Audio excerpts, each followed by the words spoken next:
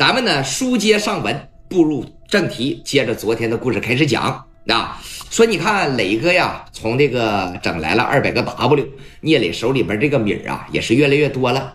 包括从这个有关部门出来了之后啊，我感觉聂磊是有了一种翻天覆地的变化，人呢也成熟了，人呢也成长了啊。但是别管怎么样，是有惊无险也好，还是一次又一次的死里逃生也好，既然选择了这个行业了，磊哥就想把它做好。咱们的日子还得往前过，哎，这个社会呢还得一步一个脚印的走。虽然自个儿的女朋友刘爱丽走了，那心里边心疼是难以割舍的一道鸿沟。但是你不过日子了吗？你每天都是酩酊大醉吗？那不行吧。所以说该干啥呀，你得干啥。哎，全豪实业的办公室里边坐着聂磊，坐着磊哥身边的几个大兄弟。那突然间呢，说你看咋的，就接到了谁呀？就接到了李子涵打来的电话。啊，电话那头直接也就说了。喂，哎，聂磊，我是子涵呐。这一听是李子涵呢，聂磊都想把电话挂了。王群力当时在旁边说了：“你配合配合他，对不对？你别老说这不接他电话，躲着他，回头上公司来堵你。”磊哥其实吧，不能说对李子涵没什么好印象，但是这一把确实是人家帮了你，对不对？磊哥当时就说了：“怎么的？你说吧，说你看看晚上要有时间的情况下。”咱找个地方吃点饭呗，咱找个地方溜达溜达。那我知道一个小面馆啊，特别的地道。我也知道你不太喜欢去那种大环境、大饭店里边吃饭，咱俩呀就是找个小苍蝇馆吃点饭，然后呢，我陪你喝点酒，你看看行吗？我这没有时间，晚上我得陪着我这帮兄弟啊，而且从这个烟台过来一个挺重要的客户，晚上我得陪一陪。那咱就明天，明天我也有事儿，明天我有哥们过生日，那咱就后天。总之，你哪天有时间，哪天咱俩就吃饭。你不能一天时间都没有吧？聂磊，你就这么故意躲着我，这有意思吗？啊，你到底躲我躲到什么时候是个头啊？咱先不说别的，就单凭我帮你这一回，我也不非得要求说跟你谈恋爱也好，是咋地也好。你觉得你不该请我吃顿饭吗？啊，磊哥当时一听啊，还确实是啊，但是有一点啊，咱俩出去吃饭行。咱不能提这种说谈婚论嫁你情我愿的事行不？咱就是正常的在一块吃点喝点，完事了以后呢，我对你表达一下的谢意。你要能答应我，今天晚上咱俩就吃。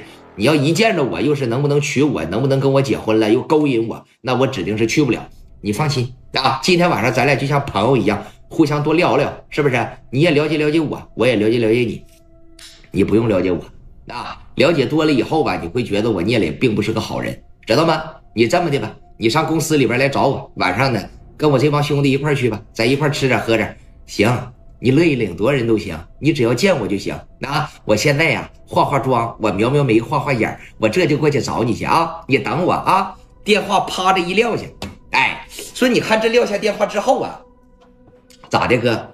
这个 李新涵呢，直接开着他那台车就来到全豪实业公司了啊。就今天一看呢，刘爱丽就是精心打扮了一番。哎这一点一点说，来到楼上之后，磊哥的好多兄弟都在这儿呢。当时一看呢，说这妈真行啊啊！这打扮的真漂亮啊！这小丝袜都套上了，哎白色的、红色的小高跟鞋啥的，也是显得格外的性感。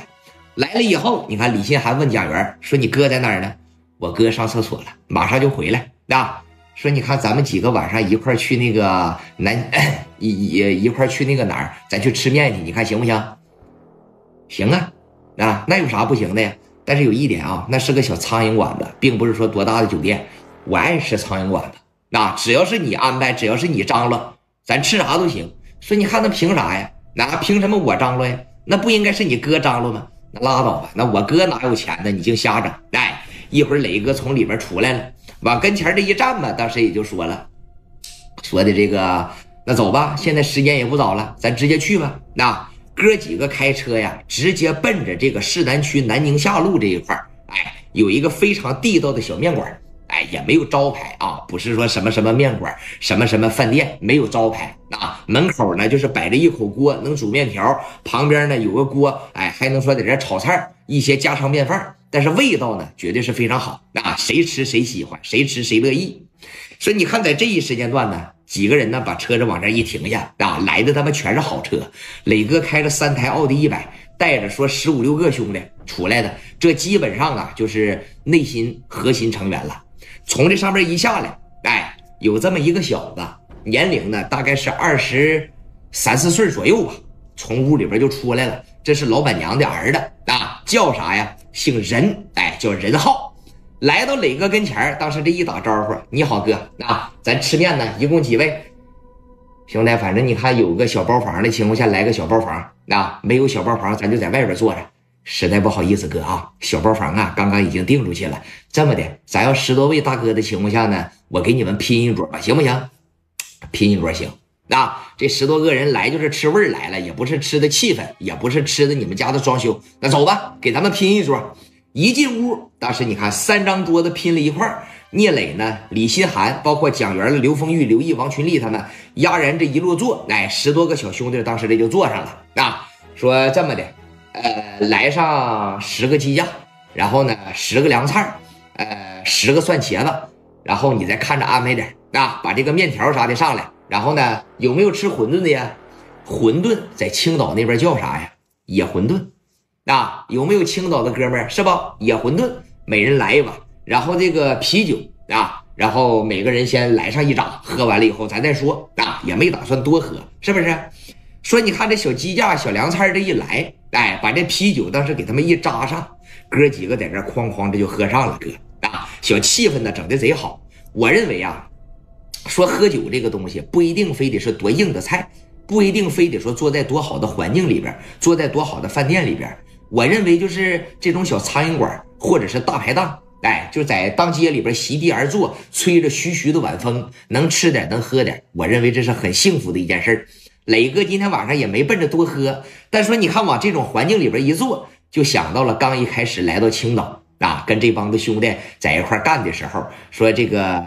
呃，蒋元了，包括这个刘丰玉了，刚刚跟我的时候，啊我们就总来这种小馆子里边，说在这吃了两口，喝了两口呢。磊哥这万丈的雄心呢，当时是从未泯灭过。哎，又想到了之前给磊哥吧，整的也挺感慨。但是呢，也同样想起了刘爱丽啊，说你看我那不行的时候，爱丽整天陪我上这种地方来吃饭，这现在行了，想回来找找感觉，人没有了。这感叹呢，物是人非啊，风景依然在，人亦非少年了。一说完这句话，磊哥当时这边一提杯，那啪着碰了一下子，来吧，咱兄弟们一块来一张。那这一扎喝完了，咱再来一张，是不是？那个老板呐，主食先别急着上啊，再调十个凉菜，然后那海蛎子了、蚬子了什么的炒点啊，这个扇贝什么的来点啊，来一盘干煸蚕蛹，来来喝，啪的一碰杯。这一扎啤酒，磊哥当时这边就干了，那特别好，小气氛。李新涵当时看着我，聂磊今天晚上心情这么好，当时就说了，说这个 磊哥呀，啊，你那个哎，趴这一捂上，你别说了，我知道你想说什么，你是不是又想问我什么时候娶你啊？我娶不了你，行不行？那这么的来，又拿起来一扎啤酒，你呢给你爸打电话，运作了运作，给我整出来了。我心里边绝对是感激你，但是谈婚论嫁的事我认为咱俩有点为时过早啊。你刚才说什么？我说谈婚论嫁这个事儿对于咱俩来说还有点为时过早。那你这一个咱俩让我这心里边倒是挺得劲的。那行，那我就不急了啊，咱俩呢慢慢了解，是不是？互相感动，有一点你就别躲着我就行，我有本事啊。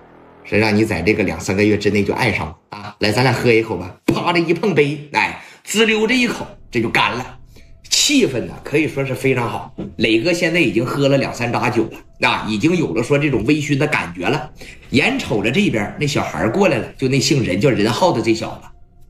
聂磊当时观察这小子，就怎么说呢？绝对不是说本本分分干饭店的那种人。啊，这哥们长得吧，就是一看比较英俊的那种。小伙长得贼帅，啊双眼皮儿，呃，身高呢大概在一米七八左右，而且体型非常好。最关键是啥呀？说话招人听。哎，人往这这一来，上这菜的时候就说了：“怎么样啊，哥？拿吃的，咱家饭菜怎么样？欢迎你们再来啊！一会儿吃好了以后，我给你们打个折啥的。当然了，老板也不差这点钱啊！来吃着，把这海鲜往上一上。磊哥当时这边趴着一摆手，说：“这个群力呀，给打点小费啊。”人妈孩子在这忙活半天了，给打点小费。这一说打点小费，你看从包里边当时瞪出来二百块钱，往这小子手里边这一放，辛苦了兄弟啊，给你拿二百块钱啊。等过了一会儿，老板娘这边也出来了。老板娘呢，这个体格并不是太好，有这个糖尿病，那每天都得靠着吃药来维持生活。从楼上下来的时候吧，你就能看着这个病情啊。咱别说到晚期了，到晚期你就下不来炕了，基本上已经是中期了。虽然说不用透支，但是浑身呢较为浮肿。说你看这边一下来，人家他妈也是特别朴实的一个小面馆的老板娘啊，这下来就说了，说你看开着这么好的车，你们这么些人过来捧场来了，那咱多赠送两个菜吧。啊，小浩啊，你过去再炒两个菜。小浩说行，我心里边都惦记着呢嘛，你不用管啊。我肯定把这桌哥哥照顾好就完事了。聂磊当时说了，不用啊，你要是奔着赠我菜，那我就不吃了。一会儿结账的时候，赠的菜我给你算上，我还得多给点。咱比如说在这一吃一喝花三百，我就给你撂下五百；花了七百，我就给你拿一千；花了一千，我就给你放上一千五。我聂磊就是这么个人啊，不用说做点买卖不容易，那食材也是花钱买来的。给我们是赠送，你炒给别人还能卖俩钱花，不用赠送啊。那赠送的情况下，我按菜数，一分钱我不少给你。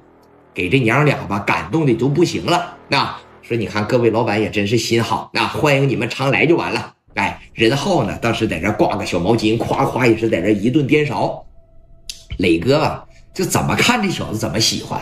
首先第一觉得能干，第二会说话，第三也是很重要的一点。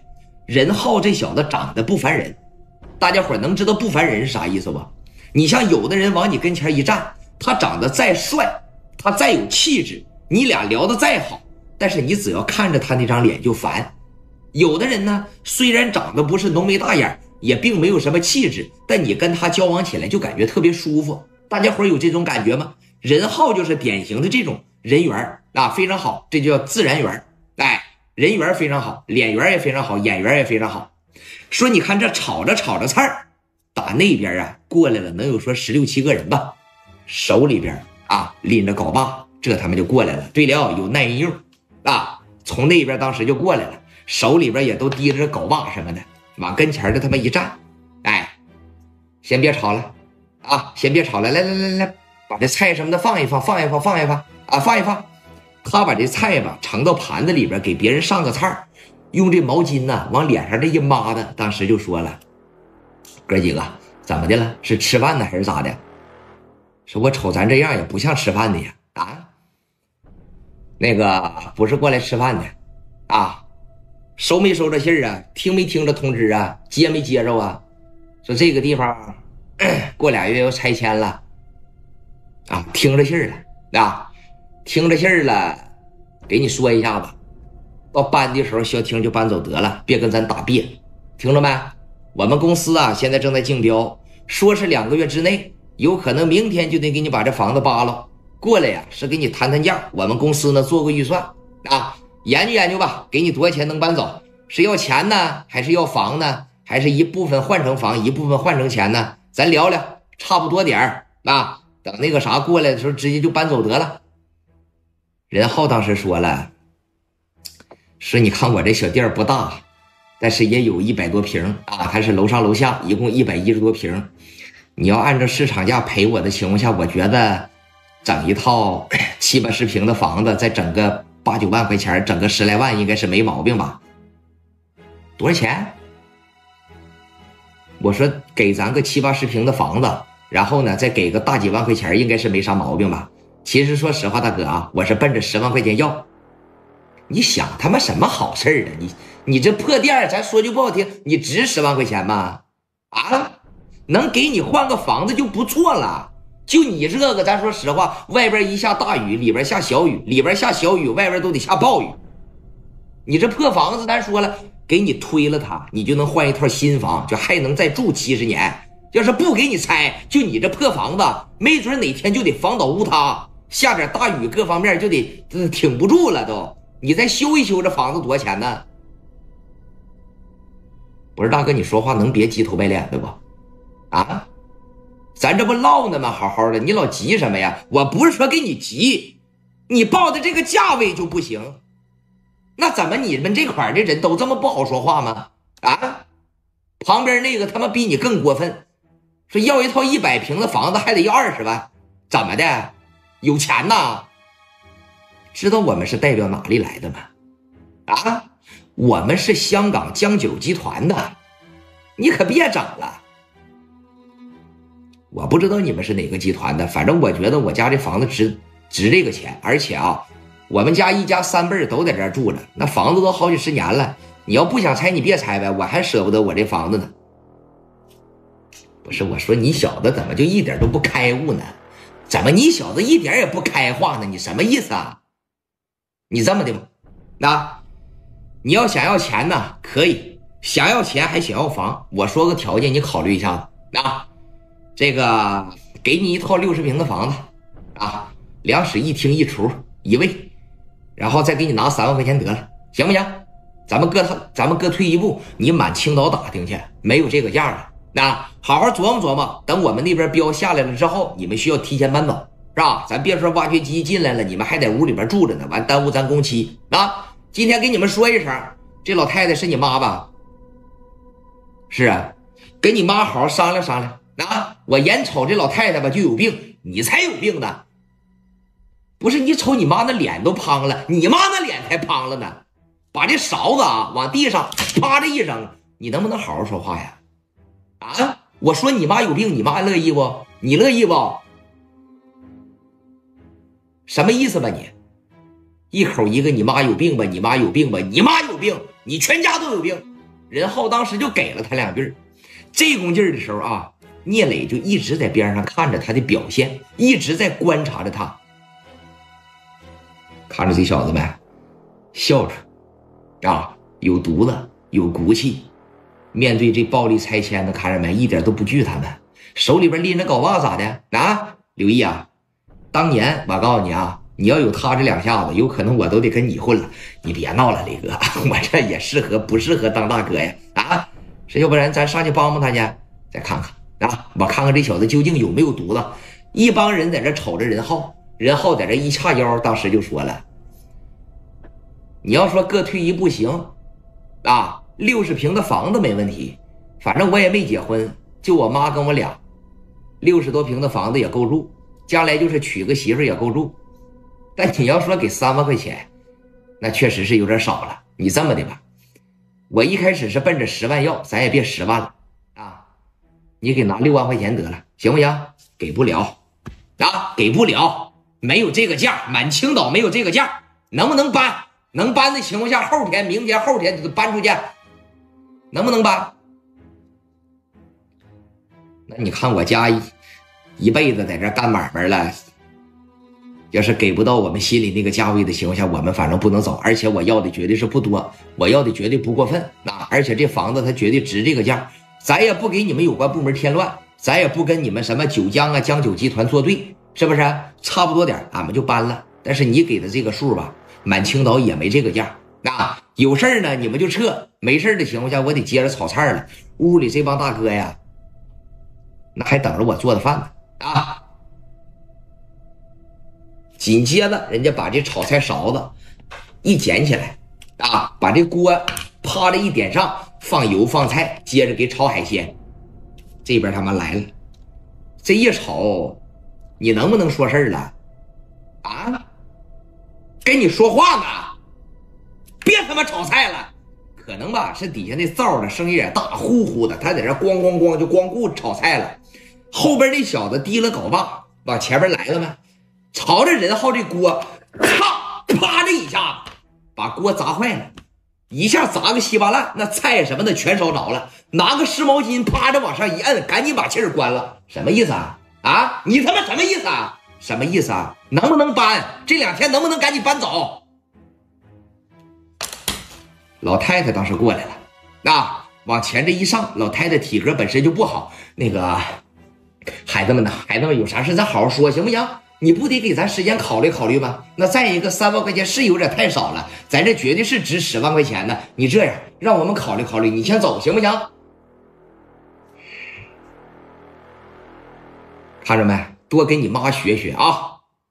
别以为看是你妈有病，但是你妈这种思想觉悟还是挺高的。你考虑考虑，你妈他他妈才有病呢！当时给来了一句这，啊，你妈他妈才有病呢！往前这一来，紧接着说，你看，这一骂起来就没好了，对不对哥？这一骂起来还能有什么好啊？后边几个兄弟往前这一上来啊，给他妈任浩往这一围上，任浩在这儿怎么的？干啥呀？你们要啊啊？聂磊他们这帮子兄弟当时就站起来了，啊，往跟前吧。当时这一站，哥，要不要过去帮帮他呀？我觉得吧，这小子快挨揍了啊！看看他什么反应，啊，看看他敢不敢动手，看看他他敢不敢干。这刚说完这句话嘛，哎，咋的，哥，这他妈来了啊！任浩往后边这就撤撤撤，从这个后边案板上，他不是在这炒菜吗？是不是？后边案板上啊有一把菜刀，他就把这把菜刀给摸住了，但是他现在没往外拎啊。任浩当时说了，你们要再逼我的情况下，你们今天要敢动我一下子，我今天拿着菜刀就搂你们了啊！你别看我平常客客气气的，我跟谁也没脾气。我绝对不是说吃素的，我绝对也不是说让你们惯着长大的，知道吧？那天下为母之这说女子本弱，为母则刚。那自个儿的母亲呢，看着自个儿的儿子，说在这个地方这样，那能不上去吗？老太太当时就上来了，往前这一上吧，就扒拉各位，就是哎哎，别的别的别的，这点小事啊，不至于啊，孩子们，这点小事不至于，别打仗。他妈那体格本身就不行，这边这一使劲，啪的一下，哎，给老太太当时八个跟头，直接啪的一下坐地上了。好几个人围着任浩砍他，这一说砍他，任浩这边一瞅，自个儿的母亲都被推倒了，那能忍受吗？那绝对是忍受不了。从后边给这切菜刀一拿出来，先朝着任浩来的这小子啊，就朝着脑袋上，嚓，啪就一刀。这小子真敢干啊，真敢干呐！这一刀就结结实实砍脑袋上了，紧接着那六七个拿着镐把就揍他。这小子，你记着，打仗有一点，他不躲。你像咱吧，可能说一边打一边躲，一边打一边躲，咱可能是这样，对不对，哥？但是任浩这小子不的，别人怎么揍他，怎么踢他，只要我倒不了，他就死死的抓着自个儿那个灶台，这个小砍刀在这，在这转着圈的干。哎呦我操！磊哥当时一瞅，行，这小子行啊，这小子绝对够手，就给任浩抡的吧，那浑身都刚刚直响。这小子他不会躲，他光会打。你正常躺一下就能过去，躲一下就能过去，他不的，他就让这镐把打我肩膀上，我这边拿着砍刀，谁在我跟前，我就闭眼珠子我就砍。而且啊，这小子拿菜刀拿的特别稳，在这横劈了竖挂的，给这帮人打的就进不了身了。但是他现在脑袋上也挨了两闷棍啊，这个头啊特别特别的疼。这些人当时一看呢，操的了，往旁边这一撤，朝着任浩他妈来了。两个小孩拿起镐把来要打他妈，这不完了吗？任浩当时，你们这帮畜生！刚一说完，这帮畜生俩人把镐把咵的一搂起来，但是啊，镐把举起来往下抡的时候，就说啥也下不来了。为啥呀？史殿林和刘毅两个人就死死的抓住了两个打手的手腕子，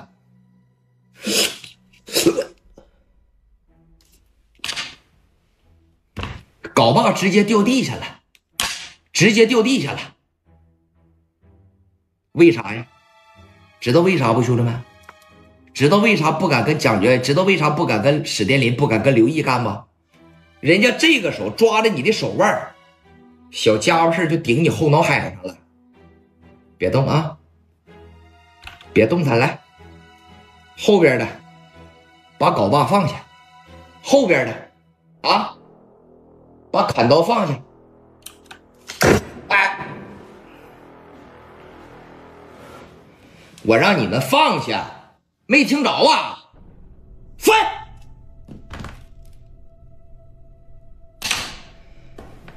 这边任浩，妈妈，赶紧把他妈扶起来。是这么的，妈，你上楼啊，底下的事我不用你管了，你上楼。你们这不欺负人吗？这不，妈呀，你赶紧上楼啊！该吃药吃药，该干啥干啥，行吧？快点的，赶紧的。那这一说赶紧的，然后他妈当时就上楼了。史殿林和刘毅手里边拿着俩小袖子，都给我过来来啊！都给我过来！十来个往跟前这一立，都跪下来啊！都跪下！在这耿耿的，谁也不跪。当时这边一瞅，不跪是吧？哎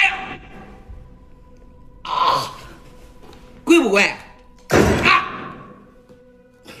跪跪跪跪！上来哐哐来了两下子，十多个人呢，齐刷刷的就全跪这儿了。啊！紧接着史殿林来到了任浩跟前，趴着一搂。好样的，兄弟啊！是个男人，他们交给你了啊！从地上把这砍刀捡起来，往死里砍，往死里砍！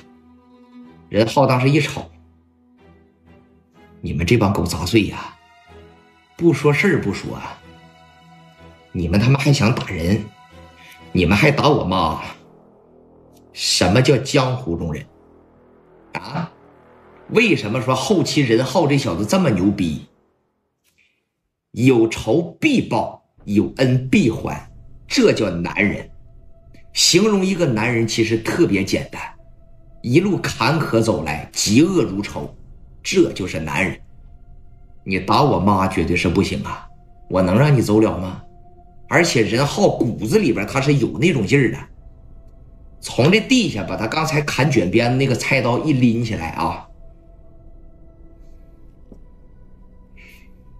你们俩打我妈是吧？啊，是不是打我妈呀？聂磊现在都站起来了，一抱膀，一推眼镜，就看看他接下来怎么做。如果就是朝着肩膀、朝着前面、朝着后背来两下子，那不叫打，朝哪儿来呀？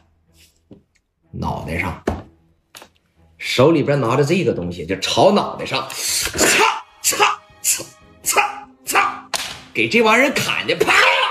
哎呀，别砍了，哎。别砍了，兄弟，兄弟，别砍了，快快！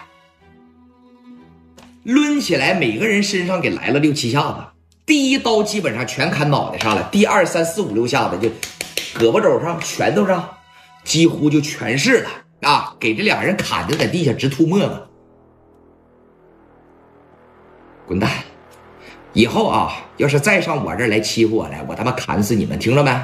啊，听没听着？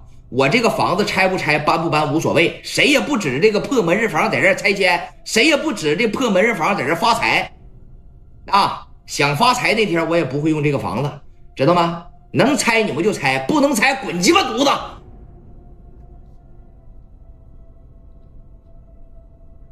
那十多个吧，当时这边一站起来啊，从地上这一站起来，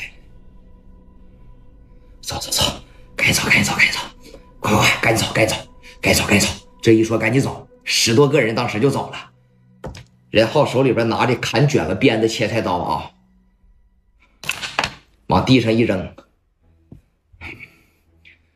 对不起哥啊，我上旁边买把菜刀去，我接着给你们做饭啊。这刚一转身，史殿林趴着就揪住了，哎，回来兄弟，回来。任浩这一转身，怎么了哥？菜做不做的无所谓。你坐下，陪咱喝两杯呗。会喝酒不？说你看大哥，你们是客人，我是开店的，我别影响你们喝酒啊。你们在这喝，我上旁边买个菜刀就回来，我接着给你们做饭啊。哎，不不不不不，我哥啊，挺稀罕你的，坐下陪我哥喝两杯啊。聂磊没听说过吗？谁？聂磊？那是磊哥呀。那你看，那你是谁呀？我是史殿林，我是刘毅。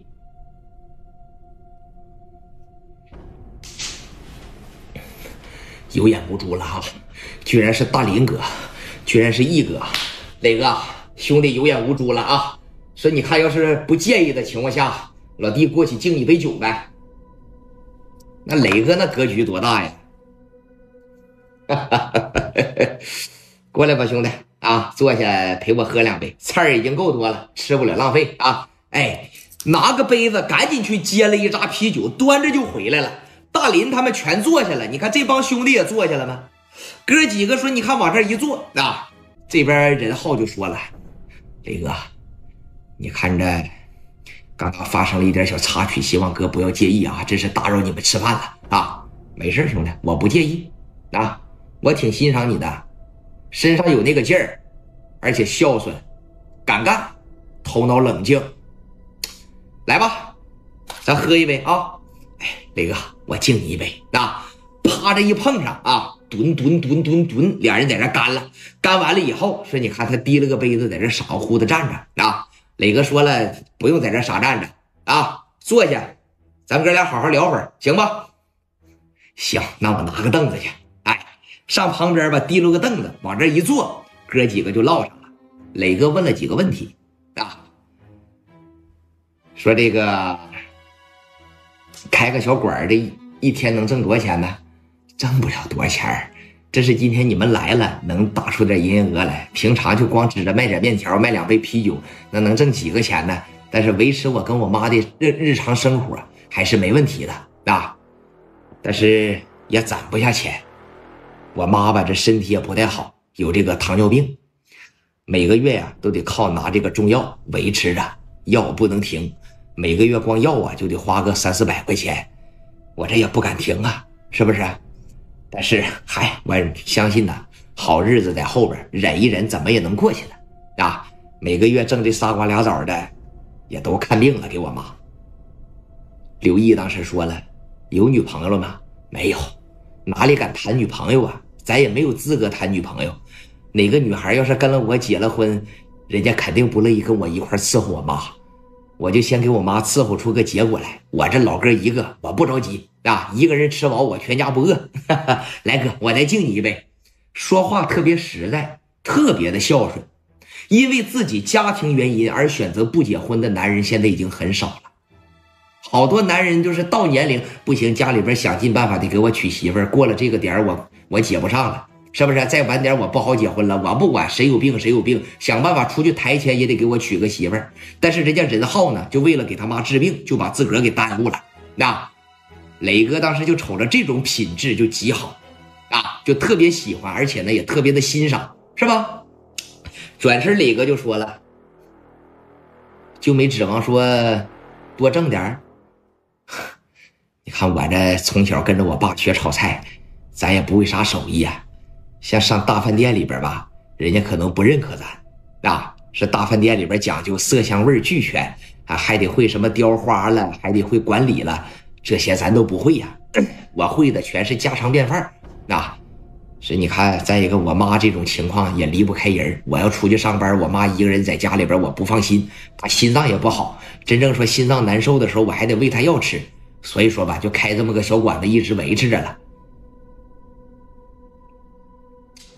很好，啊，非常好。说这个这么的吧，兄弟，你这个店呢，先关几天，你感觉怎么样？为啥要先关几天呢？今天你给人打这样，明天人不来找你啊？今天这是有我在，有我兄弟在，明天我兄弟不在了怎么办呢？人家再来，石头哥那不得打死你啊？任浩当时那表情就变了，咬着牙说了一句话：“他要敢来，我就敢跟他干。我再买两把菜刀，我明天我双刀跟他干。”哎呀，没有想到啊，你还挺有种啊！你这样啊，我给你留个名片，有任何事呢，你都可以给我打电话，你都可以给我发呼机，能帮帮你呢，我指定是帮帮你啊！群力啊，这一说群力。群力从这里边趴着，哎，把小包这一拉开，从里边拿出来一沓，往他跟前这一放，最上边呢是一张名片，一共是五千块钱啊。任浩当时这一瞅说：“哥，你这是干什么呀？啊，这是今天的饭钱啊，拿着吧。一共你才花了一百多块钱，你这给五千块钱，我这你这么的哥，我拿最上边这两张，一个名片一百块钱。”多不多，够不够？那就这么地吧。剩下的这四千九你拿出去啊，你拿过去。我这每天在这炒炒菜、做做饭啥的，我也能挣怎么的？瞧不起我呀？我聂磊送出去的钱，还没有人说给我退回来过，怎么的？不要面子啊？瞧不起我？不是，我没有那意思，哥，我就是觉得无功不受禄。那以后我给你个立功的机会就得了呗，以后让你帮我办两件事不就得了呗？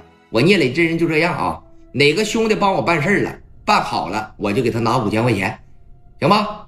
等我哪天想吃海鲜了，我把你叫我家里边去，你给我做饭，到时候钱呢从这里边扣，行吧？拿着吧。那我聂磊送出去的钱，你要是再塞给我，那你就是在驳我面子，知道吧？哥，你说，你看你这给的太多了啊！史殿林倒是过来了，拿着吧，我哥可不是谁的钱都给啊，你得好好珍惜。说吧，乐不乐意当我哥的兄弟？啊？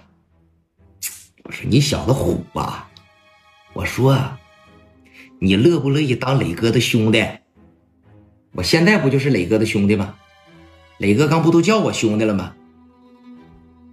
不是我说你小子这，我说你小子这脑袋怎么不够数呢？啊！我说的这个兄弟不是你理解的那个兄弟，不是说上你这儿来吃饭了的这个兄弟。那以后咱们也是兄弟了，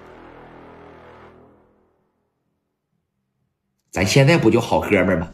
不是我怎么给你解释不明白呢？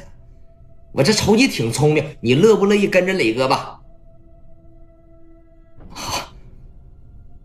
你说这个呀，啊，你要是乐意跟着磊哥啊，你这么的，我瞅你家这不也敬着关公呢吗？你在关公跟前，你倒杯茶，你给磊哥敬杯茶，啊，以后有啥事找磊哥就行了啊。我能有那个福分吗？磊哥他妈在这坐着呢，你有那个福分吗？我在这点你半天了，你说磊哥说一句话了吗？啊，拿个茶杯，倒杯茶。给磊哥敬杯茶，告诉磊哥说：“我想跟你，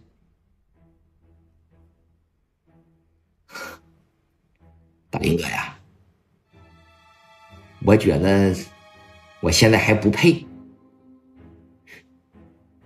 啥？我觉得我不配？你脑子里边有该睡吧？啊？你知道多少像你这么大小孩想跟着我哥，我哥连瞅都不瞅一眼？那皇冠假日酒店门口。”我们那全豪实业门口一大帮像你这样的人，一见着我哥跪地下就要跟着我哥，那我哥都不收。这在这一劲儿给你抛橄榄枝，不是你好好的行不行？我的好啊！我再问你一遍，你愿不愿意跟着磊哥？给难为住了啊！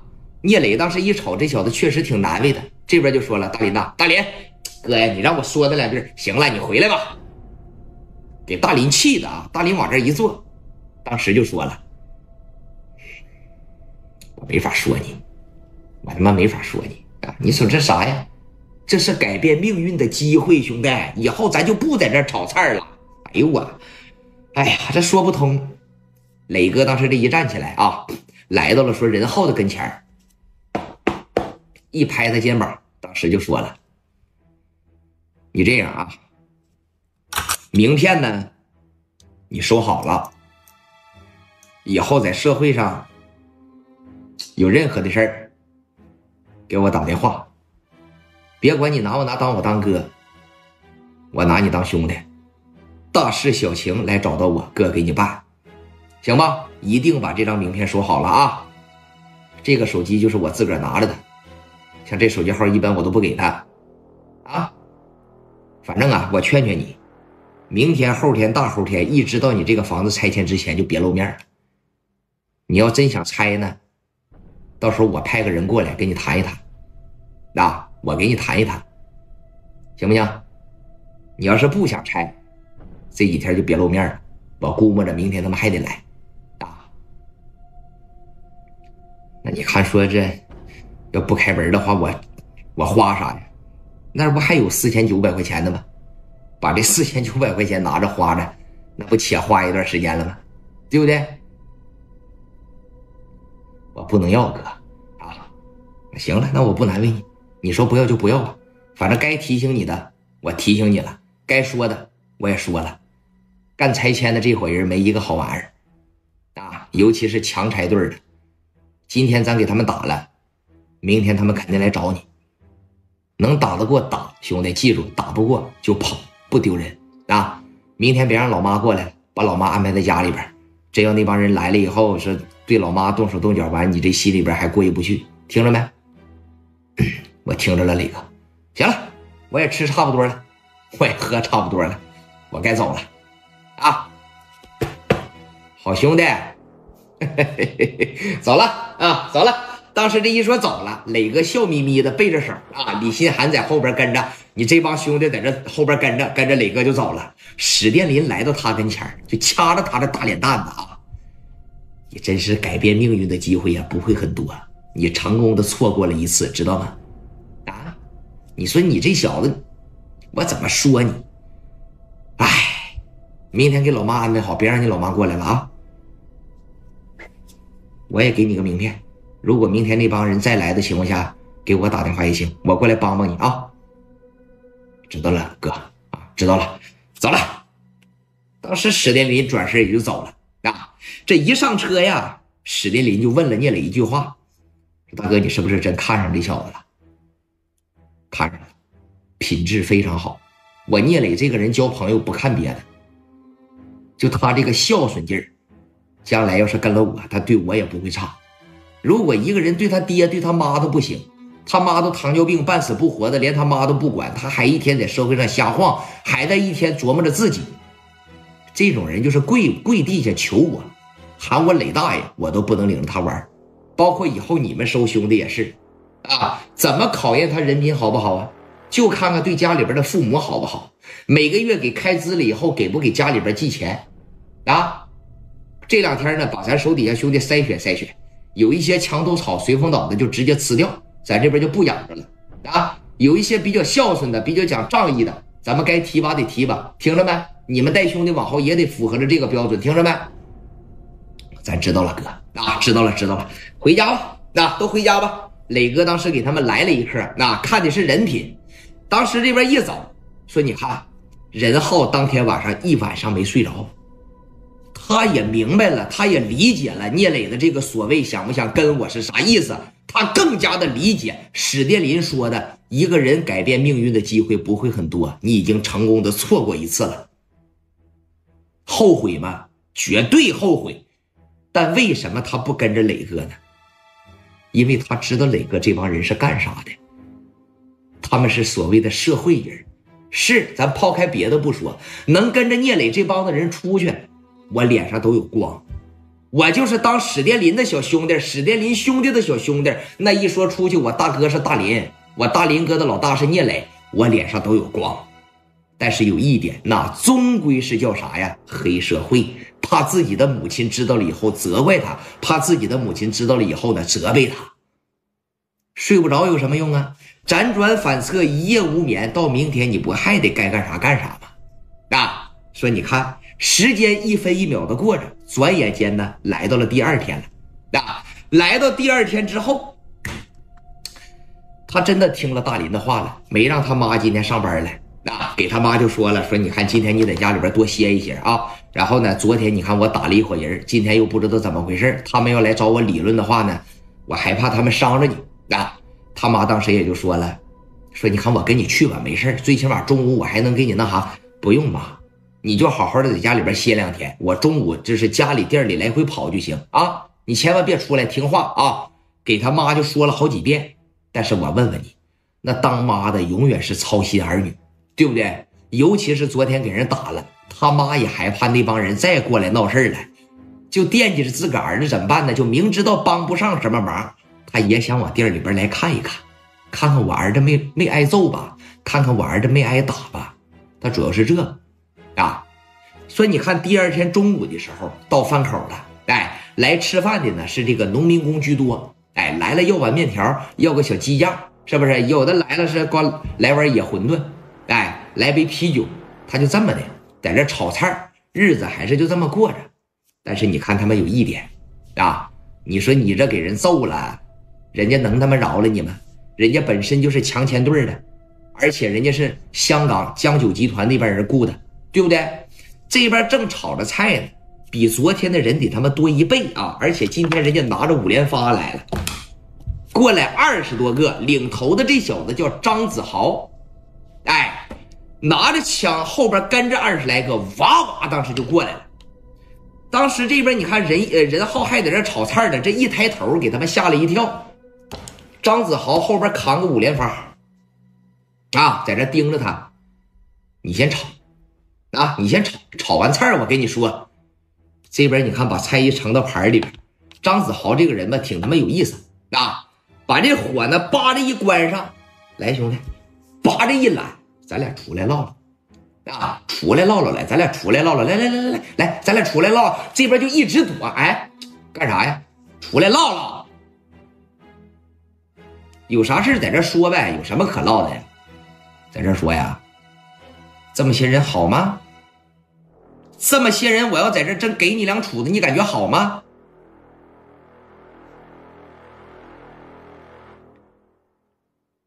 你们是昨天那伙人派过来的吧？昨天是谁呀？不知道，啊！但是我想说的是什么呢？我想说的是，昨天给你一套六十平的房子，再给三万，今天三万也给不上了，今天只能给到你一室一厅一厨一卫，然后给你拿一万块钱，啊！因为有人呐把这些好的条件都让给我了，所以说你就住不上了，啊！抓紧时间把你屋里边这些破东西、破烂给我收拾收拾，清出去。我们贴个封条，门口给你写个拆字以后就不要过来了啊！自个儿找地方住下，等着回迁房就完事了啊！听着没？听着了以后，马上收拾你锅碗瓢盆，滚蛋！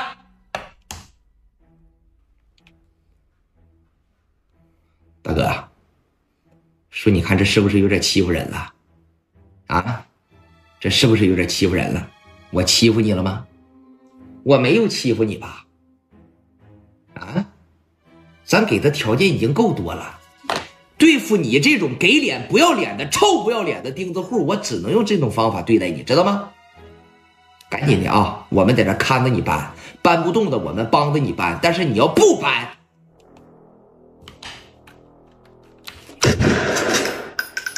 你可以试一试啊。朝着天上哐就来了一枪子，你看任浩这小子胆儿多大？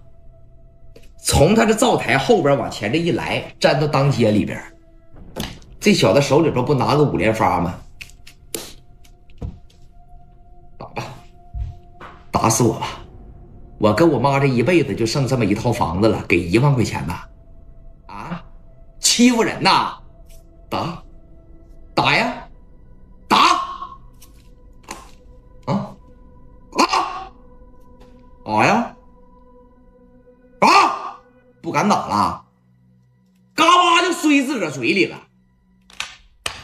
我告诉你，天生什么人，他就是干什么事的，知道吧？任浩不怕你，你随便蹂躏我，你随便打我，无所谓的。这小子当时这一瞅。哎呦我操！你真他妈以为我不敢打你呀？啊！你真以为我不敢打你是吧？就在这千钧一发的时候，看着没？一个老太太拄个小拐棍儿，小浩啊，这是干什么呢？小浩啊，他妈来了！怕啥来啥，越担心啥他越来啥。老太太腿脚不好，她那腿已经浮肿了。哥，说实话，可能也没有多长时间了。再往下说拖一拖，有可能就得做透析。一旦到了透析那一步，她家里边根本就没有能力承担这种医药费，知道吧？老太太往前这一来，站人群里边了，说：“这个孩子们这么的啊，哎，愿意给多少给多少。”行不行？不给钱都没事，我们搬走，我们不在这住都行。给我们娘俩一条活路吧，给我们娘俩一口饭吃吧，行不行啊？啊，给我们娘俩一口饭吃，行不行？你听听你妈这种觉悟，你他妈再听听你，啊？你说了能算吗，老太太？我说了能算。那小浩啊，咱别跟他们斗了。那 小胳膊咱怎么能拧过大腿呀？咱就是个炒菜的，咱就是个开啤酒屋的，咱怎么能干得过人家呢？说来说你把这东西放下啊，你把这东西放下，不行。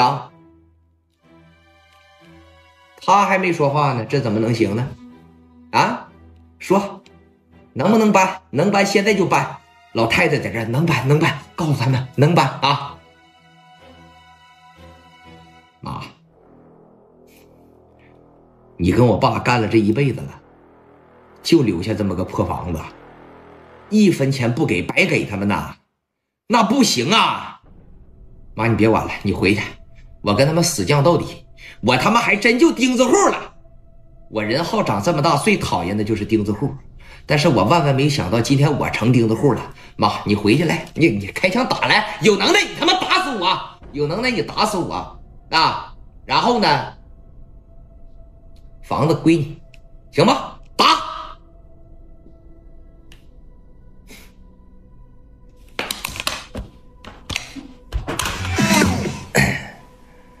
兄弟，我不打你，你看看我有没有办法让你搬走？啊！来，给他摁着，给他摁着。上来了七八个小子，给任浩嘎巴就往这一摁，俩人掐着脑袋，俩人摁着脖子，俩人摁着肩膀，俩人摁着大腿，给任浩夸就摁这儿了。紧接着啊，张子豪一把就把任浩他妈的头发给薅住了，朝那脸上擦啪就一个嘴巴子，啪！给你儿子说让他搬啊，让他搬，说不说？擦，说不说？啪就又给个嘴巴子。任浩让人在地上摁着啊！你他妈撒开我！你们这帮畜生，撒畜生，在这儿搬不搬？答不答应搬？不答应搬，今天在这给你妈打死啊！擦！来，上来就给了老太太几个嘴巴子。哎，任浩当时那眼珠子努的通红通红的，那牙咬的嘎嘣嘎嘣直响啊，在这儿啊！你们他妈撒开我！但是。七八个摁着一个，一般仨人瞪着你，你就动弹不了了。那七八个人呢，在这儿搬不搬？搬不搬？不搬是吧？操！啪，又来个嘴巴子，反正打你几个嘴巴子你也死不了。搬不搬？不搬是吧？操！啪，就来着又一个嘴巴子，给老太太摁地下踢。这一说踢，有个小子吧，老太太不是拄着拐棍来的吗？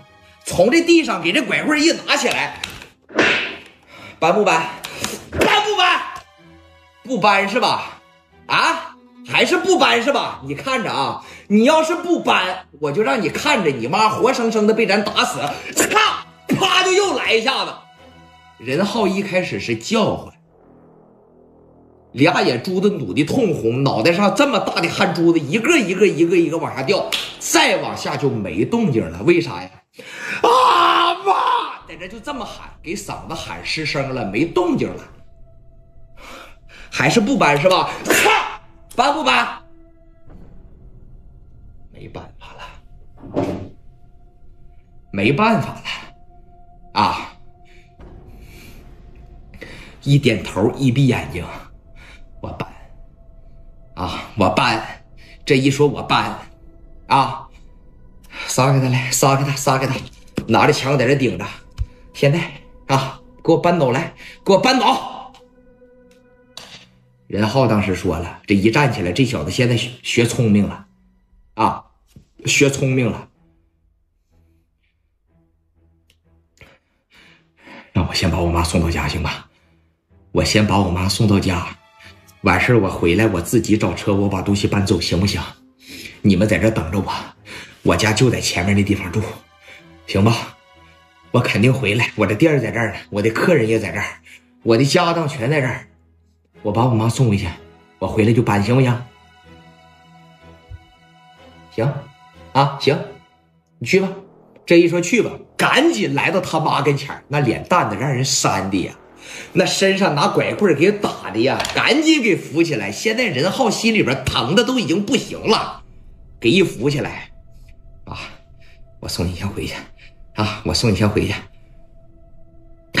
别跟他们较劲了，听着没，孩子，咱打不过人家，人家是黑社会，听明白了吗？人家是黑社会。一提这仨字儿，任浩脑子里边想起来了一个人，他戴个眼镜，他穿着西装，文质彬彬。想到谁了呀？青岛黑社会的代表是谁呀？聂磊。这心里边就咯噔一下子。妈，我先送你回去，啊，跟我走，扶着他妈一步一步的走啊！这边在后边又开了一枪，给你二十分钟能回来吧？二十分钟回不来，我可给你把店里边砸了，我都不让你搬了啊！任浩那眼珠子通红，回头瞅了他一眼，能回来。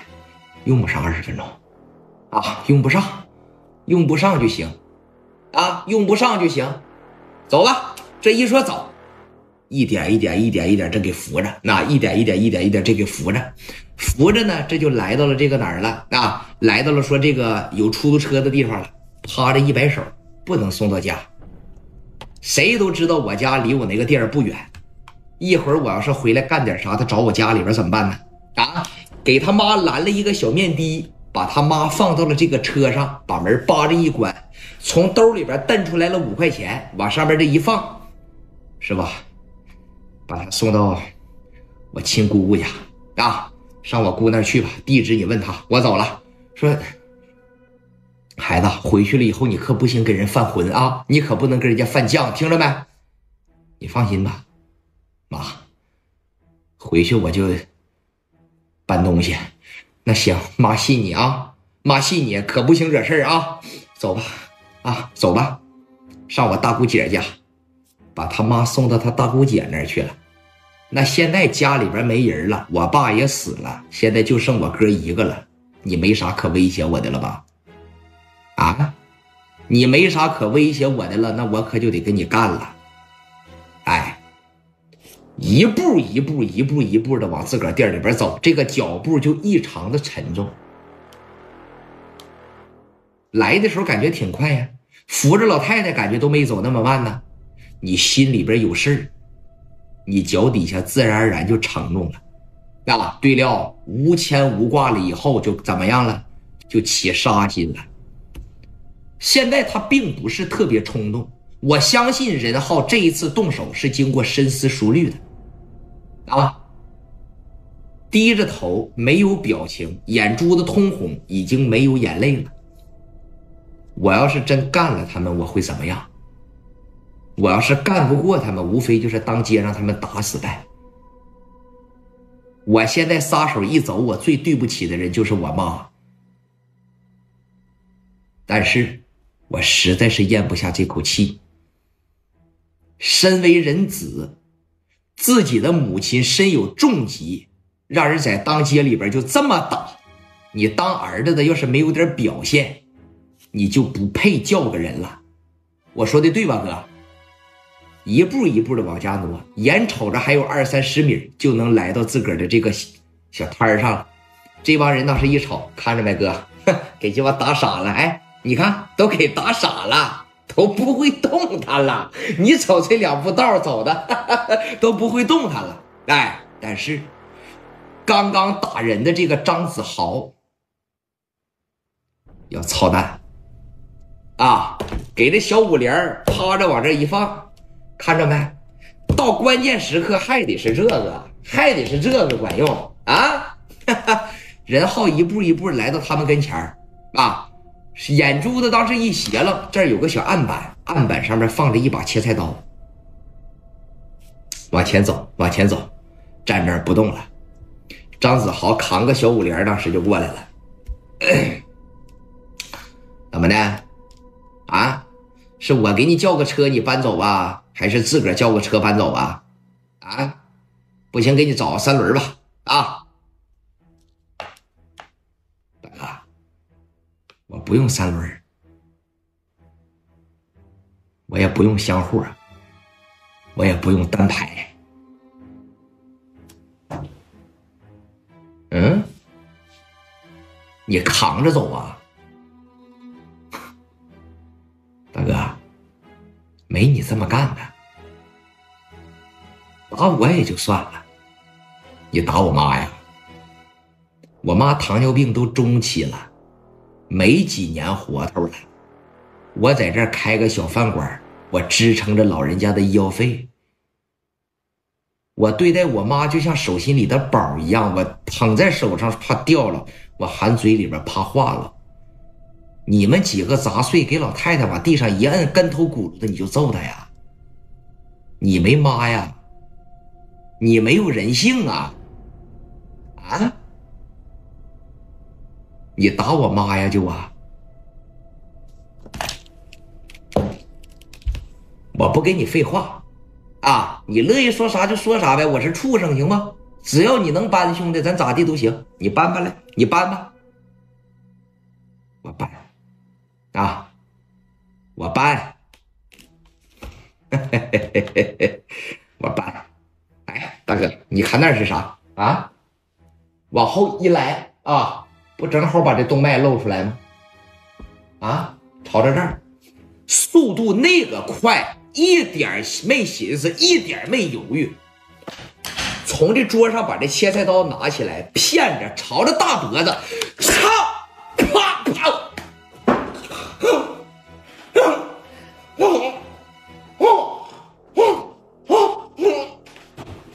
那血呀，哎，砍这么长、那么深的一个大口子，手在这捂着都捂不住，从这缝里边呲呲开始往外喷。在场所有的人都傻眼了，在这儿，有个小子从底下把五连发的一捡起来，啊，豪哥，豪哥，豪哥，那个，那个你别过来啊，快把豪哥送医院，快，你别过来啊。任浩手里边拿着切菜刀，起来，起来。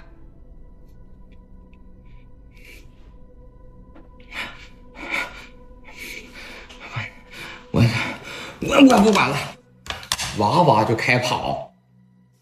人的生命力也是很顽强的，人的生命力也不是那么脆弱的。在这五个大脖子瞳孔放大，那眼珠子尽显恐惧啊！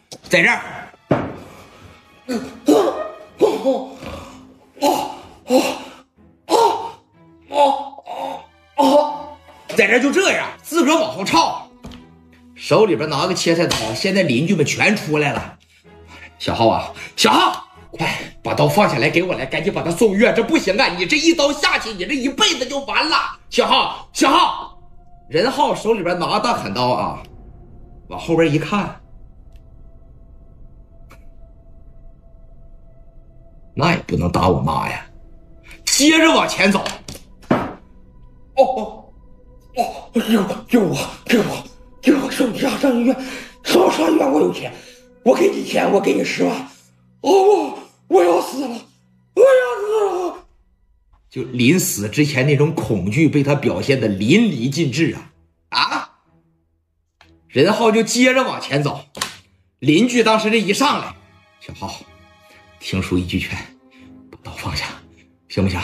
咱所有的人都看着他打你妈了，是他们先动的手，你就这样。别给他来第二下子，我估计你都判不了死刑。你真要是一刀结果了他，你就成故意杀人了。你快点，你听叔的，快听大爷的，听婶儿的，把刀放下啊！小浩，把刀放下，你不行啊！你你还有你妈呢，你想想，你这一刀下去，你进了监狱，谁照顾你妈？一说自个儿妈妈，心疼了啊，心疼了。确实也说到他心里了，握着刀的这个手就稍微松了点紧接着，快快快快快打电话，谁有电话快赶紧给整医院。那个年代有大哥大的就赶紧在这拨幺二零嘛，在这儿。但是任浩紧接着从那大爷手里边咔吧这一下又抢回来了啊！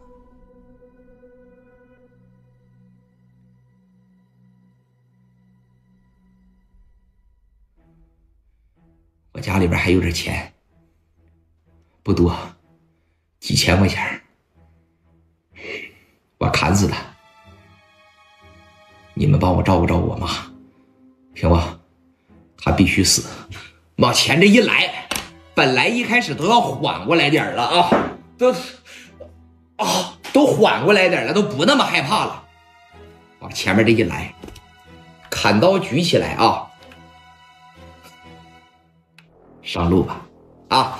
啪啪这一刀，啪！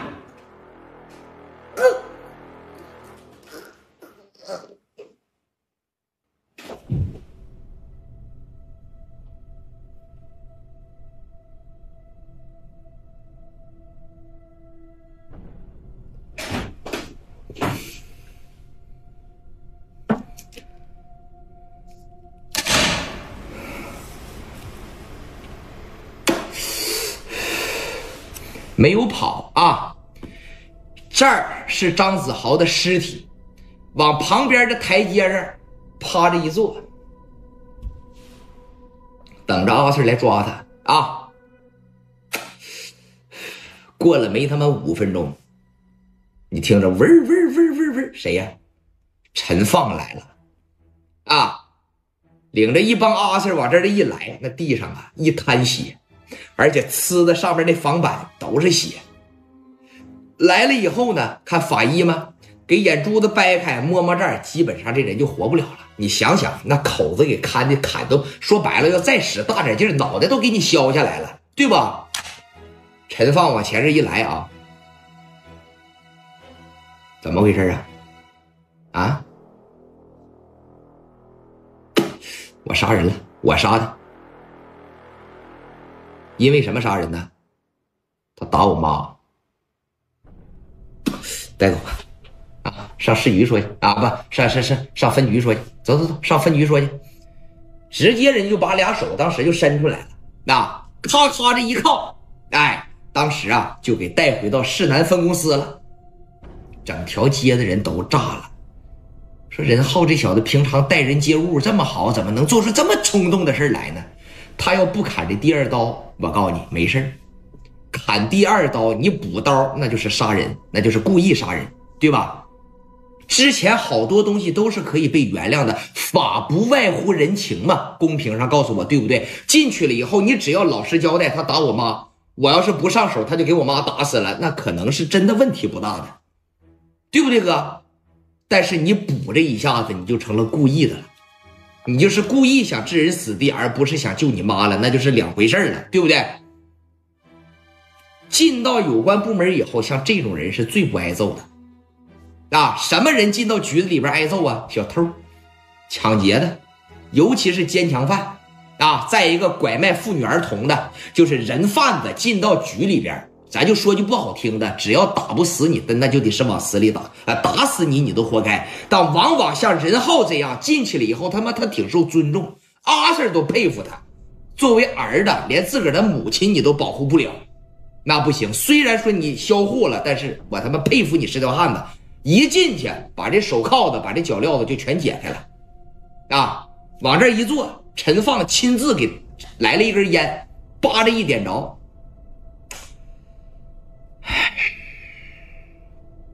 说说吧，干啥这么冲动啊，小伙儿？啊，二十多岁大好的年龄，非得走这一步啊？哎，有什么事找我们也行啊。找你们能好使吗？你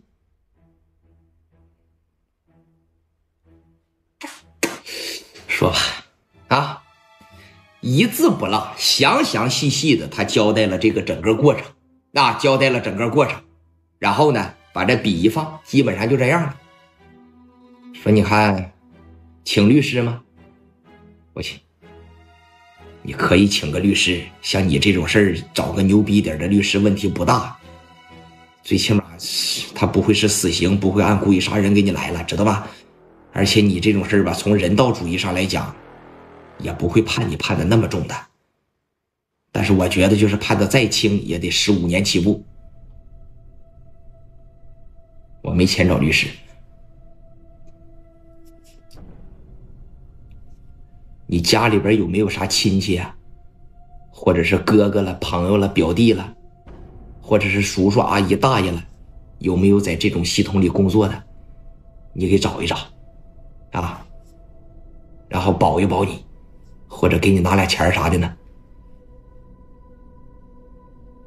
我谁也不认识，判我吧，啊！但是有一点，我能感觉到你是个好阿 Sir，能不能每个月去看看我妈呀？她糖尿病中期了，挺严重的，这没问题。我也挺同情你的，但是你这种做法太冲动了啊！后悔吗？不后悔啊，不后悔。如果张子豪没死，我现在呢得从这个地方出去，我找到他，我得砍死他。我现在唯一对不起的人就是我妈，我没把我妈伺候好，我没那个能力把我妈伺候好。阿 Sir，拜托了。看在咱俩挺有缘分，你把我抓起来的份上，我都不用你给他花钱，每个月过去看看他就行了，好吧？你真没有啥有背景是比较硬一点的兄弟朋友啥的？没有，有我也不用人家，人家也不欠我的，干啥帮我呀？事儿我一个人做的，我一个人承担。啊，但这股劲儿呢，他就想到聂磊了。我出了这么大的事儿，仅是一面之缘，人家可能会帮我吗？啊，你就咱们的情况下在一块吃一顿饭，哎，小伙挺好啊。第二天你杀人了，你会给他打电话吗？从各方面角度出发，你都不会给聂磊打电话，因为你觉得我俩的感情根本就没到这儿啊。那仅仅是一面之缘，我敬了人家一杯酒，互相留了个名片而已啊。人家凭什么帮我呀？对不对？那你看，陈放在这儿就说了：“哥们儿，我觉得你还是得为你这个事儿使使劲啊！刚才你说了，也并不是没人光帮你，也不是没人管你。你想想，那毕竟不是我妈，谁伺候起来也不如你伺候起来好，对不对，兄弟？你真要是说有人儿。”就放下面子来求求人家，万一要是行呢？出去了以后，你好好伺候你妈。你也说了，这都糖尿病中期了，万一这在外边有个啥事都没人给他养老送终啊，兄弟！这一句话扎心里边去了。对呀，对呀，我妈可能说真没几年了。真要是说我进去一年、二年、三年，第五年咣当扔了，我连出去给我妈尽孝去都不能。想到这儿的时候，那你能不能接给我个电话，让我试试？给，拿着电话啊，拨到了哪儿啊？拨到了全豪实业。但是等他拿起电话来的时候，拨了一遍又一遍，拨了一遍又一遍，得有三四遍的时间，他没有拨通。为啥呀？因为他害怕遭到拒绝。这符合人物内心吧？这是他最后的救命稻草，对吗？真要是喂磊哥，我杀人了，能不能保住我？啊，咱俩就是一面之缘，兄弟。那天晚上让你跟我，你也没跟啊，这杀人偿命呗，付出你应有的法律代价呗。你麻了不？你傻不傻眼？但是，那该抓你也得抓呀。抓不住，咱再说抓不住的。你要是不抓，那不就完了吗？电话拨过去了，啊，陈放在这儿，拨吧，啊，拨吧，他不知道是打给聂磊的，知道吧？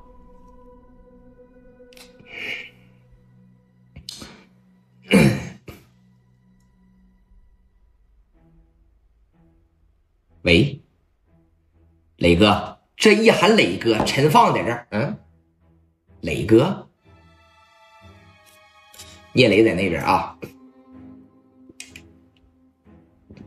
喂，哎，你好，哪位？磊哥，我是这个任浩啊。啊，你好，兄弟，怎么了？哥，有个事儿，我给你念叨念叨吧。出事了吧？打仗了，打了。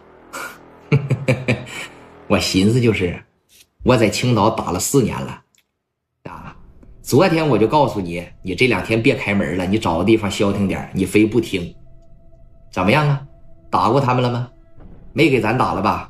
我听你这声音啥的没事我没事你没事就好。那给我打电话这什么意思啊？想通了，磊哥，我杀人了。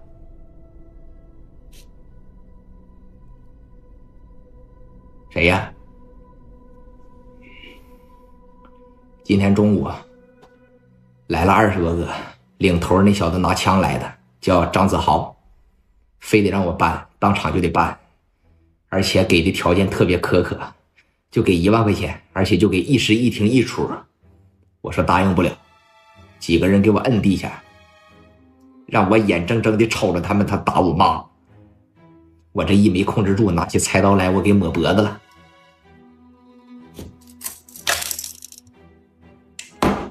聂磊说什么？啊？超乎了他的想象。包括我，如果是聂磊，我都得说你太冲动了，你哪能这样啊？你是砍两刀、扎两刀就行了，你哪能这样上来就给人抹了？那我帮不了。要我，我可能会这么说。你知道聂磊给来了句啥吗？杀的好。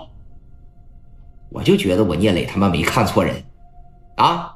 现在给我打电话什么意思？需要哥怎么做？你说吧。啊，记得兄弟，走到哪儿哥都觉得这事你他妈办的对。虽然说在法律上你做的不对，但是从人道主义上，作为一个人的儿子，我觉得你做的没他妈毛病。在哪儿呢？现在？我现在在市南分局呢，市南分局呢是吧？行，我马上过去啊，我去领你去。哎，电话啪的一撂下。任浩自个儿都感觉跟做梦一样啊！我虽然跟聂磊不太熟，但是我可听说过他。就现在在青岛班大班这帮小孩有一个没听说过聂磊的吗？少之又少。而他听说聂磊，可不是说这小子能打，手底下兄弟猛，有钱，有买卖，有好车，而是聂磊在青岛白道的实力很大。把电话这边啪的一撂，家伙事一递给陈放，陈放当时说了：“磊哥，你找的是哪个磊哥呀？聂磊呗。”哼，哼哼，你找的聂磊啊？啊，那行，那你就等着出去吧。刚才聂磊说啥了？他说他过来接我来。好啊，我就觉得你小子命不该绝，孝顺的人上天都不收啊！啊，我也认识聂磊。哎，你喊聂磊哥，我见着聂磊我喊老弟。真的，那一开始聂磊要不是因为我，早死了。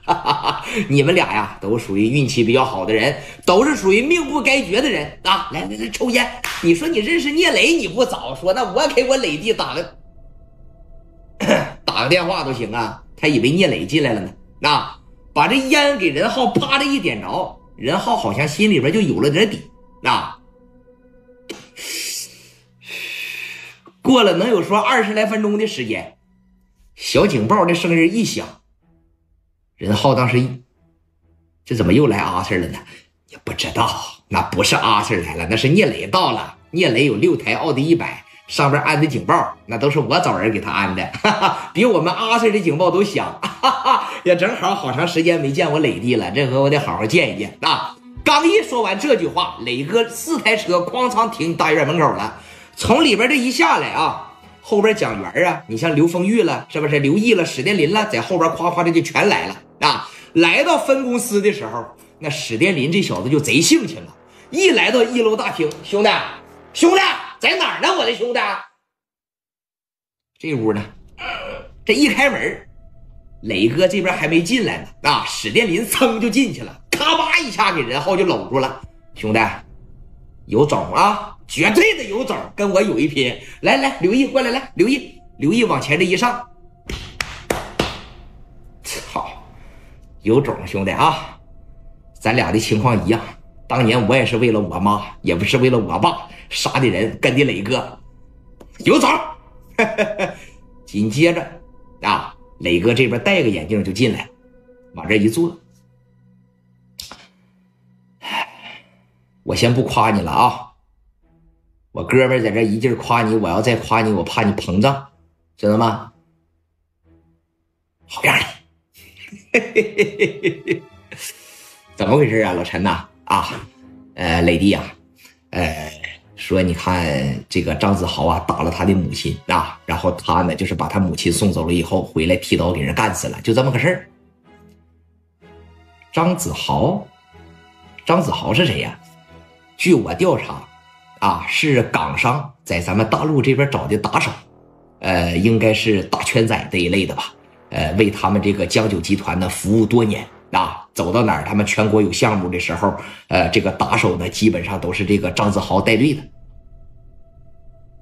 啊，现在有人出面解决这个事儿吗？目前还没有。刚一说完这个没有，来个阿 Sir 啊，陈 Sir，哎。张子豪那边摆事的到了，雷弟，你上吧，好好在这待着啊！一个小时之内，哥给你领出去，听着没？知道了，雷哥，走，旁边屋里边，哎，来了一个贼牛逼的人，哥啊，香港的，知道吧？一进这大院就破口大骂呀，哎。因为那个时候说，你看这边也快回来了，是不是？而且啊，香港的当年来到这边做生意，他是很受保护的，是这么回事不哥？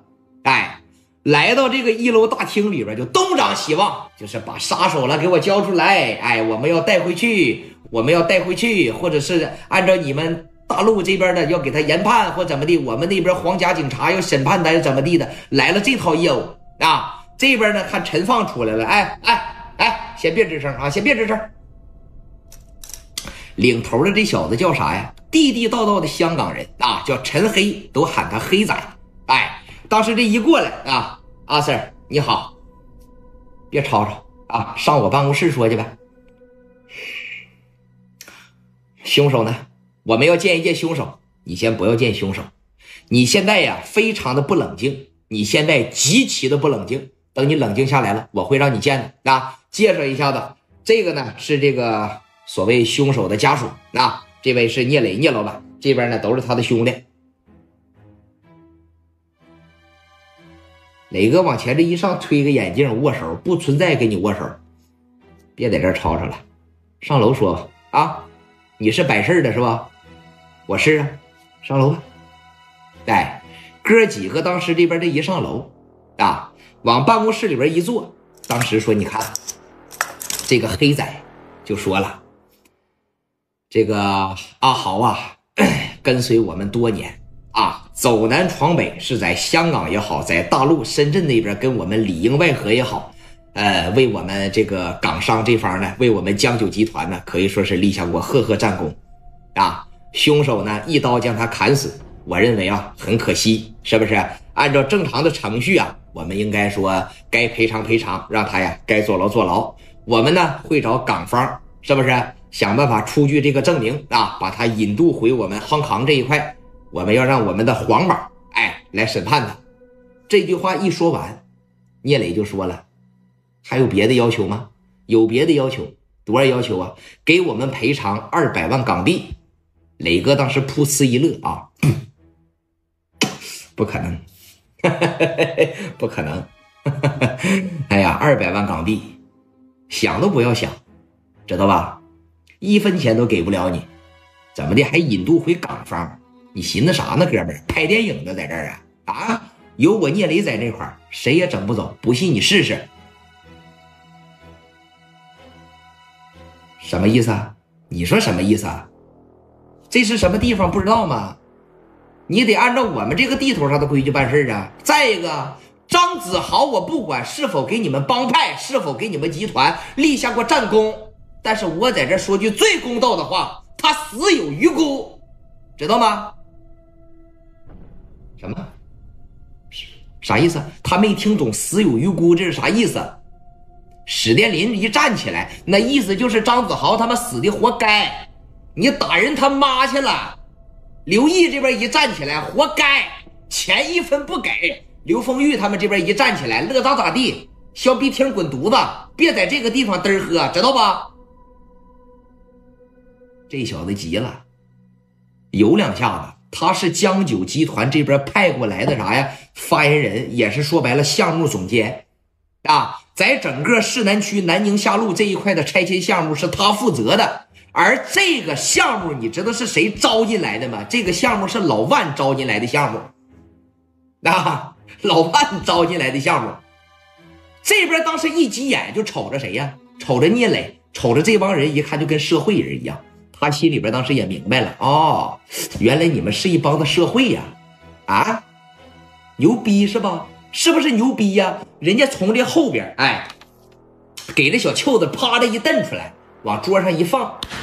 陈放当时一瞅，哎，你要是玩这个，咱就跟什么受害被害没什么区别了，呃，可可就没什么关系了。你把你这个东西收回去啊！你要不收回去的行，我可强行给你收回去了。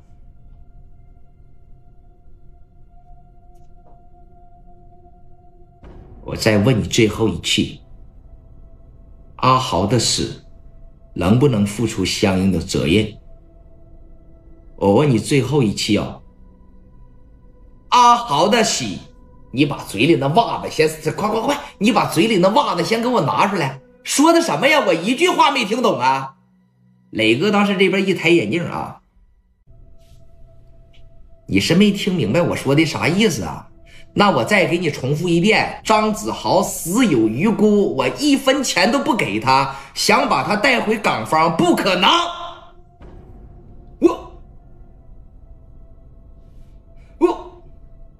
说不出话来了。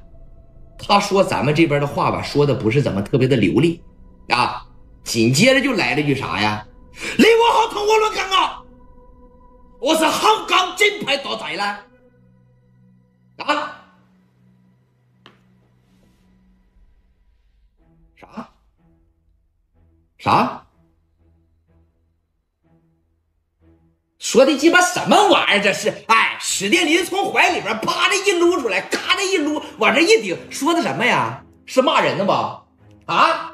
什么哇哇哇？这是稀里糊涂给来了句什么意思啊？史殿林嘎巴给这小子顶这儿了，说啥？你们不要在这边吓唬我啊！你们不要乱讲。我在香港是金牌打仔来的，操，啪就来个嘴巴子，还金牌打仔，这一回我听懂了，你他妈挺能打是吧？呱呱，直接就给干这儿了啊！我告诉你啊，抓紧时间滚犊子！你要请律师，我陪着你。想把我兄弟带走，不可能，听着没？还有。把话回去告诉你们老板，也是什么所谓的负责人，听着，有我聂磊在这一天，谁要是想把我兄弟带香港去，我跟他没完啊！走了，这边一说走了啊，磊哥他们当时就走了，来到陈放这块就说了：“你放心啊，任浩这边呢，我会好好看着他。”最近这一段时间，他哪儿也去不了，我会让他好好配合你工作，我就先把他领走了啊。陈放当时，别让他出来溜达啊，什么时候把事解决完了再让他出来溜达，去去啊，把你磊哥那兄弟放走，那个我陪你喝点茶呀，啊。聂磊当时从这里边就把任浩给领走了，来到自个儿的全豪实业的时候啊。任浩这边又开车上家里边接的他母亲，他母亲也来到全豪实业了。磊哥就说了：“你们娘俩最近这一段时间就好好的、恭恭敬敬的，不是恭恭敬敬啊，你就好好的、老老实实的待在我的全豪实业，哪儿都别去了。”啊，这边说行，说磊哥，那接下来怎么办呢？接下来就不是你的事了，接下来就是我的事了。啊，我给你们办，最多十天。我让你们呢，该溜达溜达，该干饭店干饭店，该干啥干啥，听明白没？磊哥，救命之恩，我啥也不说了，以后你就看我任浩怎么做吧。史殿林低了个脑袋就过来了。那我这一会儿再问问你，想不想跟着磊哥呀？想不想跟咱们变成一样的兄弟呀？任浩啊，啪的一站起来，两步来到了聂磊的跟前，单膝跪地，这手嘎巴的单膝跪地就跪这儿了。紧接着嘎巴的一来，这是江湖最高礼仪了，左手在前，右手在后了，来了仨字儿。啊，磊哥，我跟你。磊哥赶紧给扶起来，快快快快，好兄弟，那好兄弟，好兄弟，来起来。当时这一说起来嘛，磊哥又囊括一员大将，如虎添翼。而且我名字告诉你，老哥们，磊哥手底下这帮子兄弟属人浩最能打。你看着，明天这个人浩太出彩了。明天的故事就就基本上是太出彩啊。兄弟收了，该有的客套他也有了，那接下来是不是该摆事了？啊，看磊哥的电话响了，哎，寻思是谁呀？可能是陈放，也可能就是那边的人呗，过来找人摆呗，看看他想怎么地。磊哥这边拿电话，啪的一接上，啊，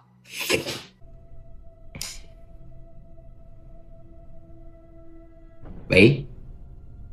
谁呀？我问一下，你是不是任浩的画室人呐？画什么？我说，任浩是不是找到了你？我们想把他带回香港，我们想让他进行赔偿，是不是你从中作梗啊？啊，你是张子豪的老板呢？没错，我是张子豪的老板。啊。我可以明着告诉你，我们从港方这边过来，我们在大陆投机了很多的生意，也遇到过各种各样的麻烦，但是每一个麻烦我们都攻克掉了，你也不会例外，知不知道？我给你三天的时间，给我的户头打上二百万的港币，否则的情况下，我叫你吃不了兜着走。那你是跟我杠上了呗？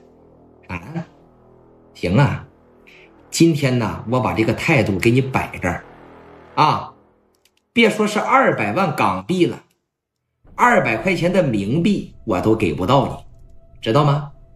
你们要是想玩我他妈就好好的陪你们玩玩，听着听没听着？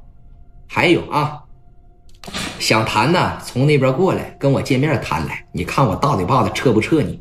我让你夯扛，记着，这是中国山东的青岛，听着没？好大的口气哦！我要是过客的情况下，好，好，好，好，好，年轻人非常的好，你很棒啊！希望你见到我以后，希望你见到我的团队以后，还能这么跟我说话。你知道是谁把我们招商招过来的吗？你们可以问一问你们山东省青岛市。副市长的秘书，万先生，这个项目是他引进过来的。你在人家手底下做事，如果我得不到你们当地人的支持，你觉得像你们这种小帮派会有生存的机会吗？你们会有生存的空间吗？你把舌头捋直了，你把那袜子给我拽出来啊！我就告诉你一句话，我在青岛等着你，有能耐牛逼，你他妈就来。电话叭着一撂下，啊，等着呗。王群力来了，嘎的一站起来啊，哥呀，机会来了，来什么机会了？横竖港方已经盯上你了，要来个不死不休了，非得要把张子豪这个事儿摆了，咱要不借着这个机会？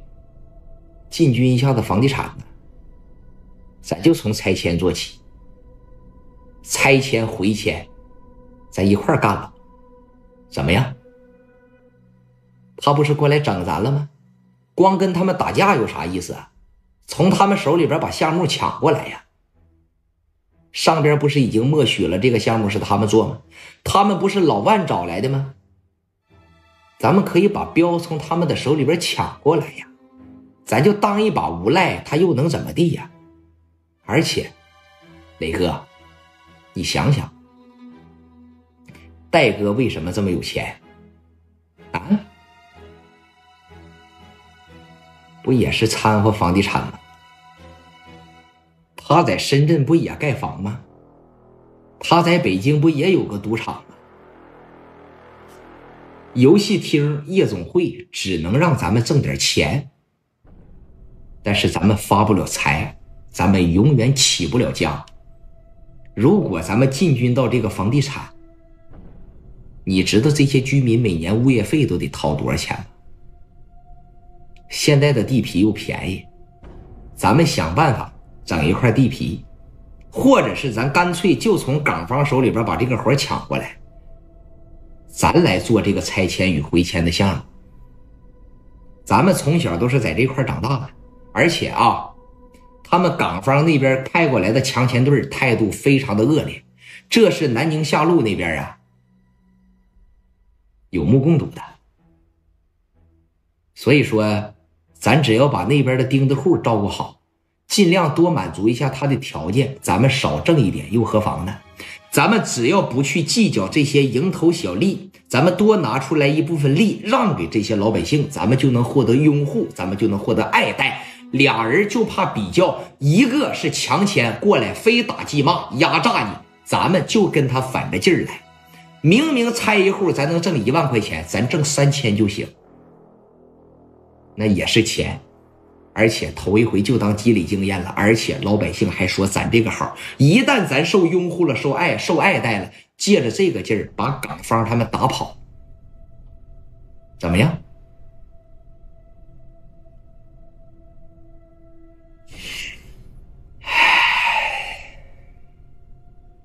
你想想，戴哥，人家在深圳都千八百万、千八百万的玩了。那个朗文涛一说几千万，我就是个玩他也是做房地产起的家，而且你没听说吗？哎，那个什么光的大哥四哥，哈尔滨四哥也是做拆迁、做回迁起的家。八十年代的时候就花一百多万盖个别墅，我觉得这个买卖能干。我希望啊，咱们能顺心顺意，咱们能如心如意，如咱的心，如咱的意。咱能把这个活给干下来，磊哥。如果说这个项目要是咱能弄过来的情况下，咱就叫如意小区呗。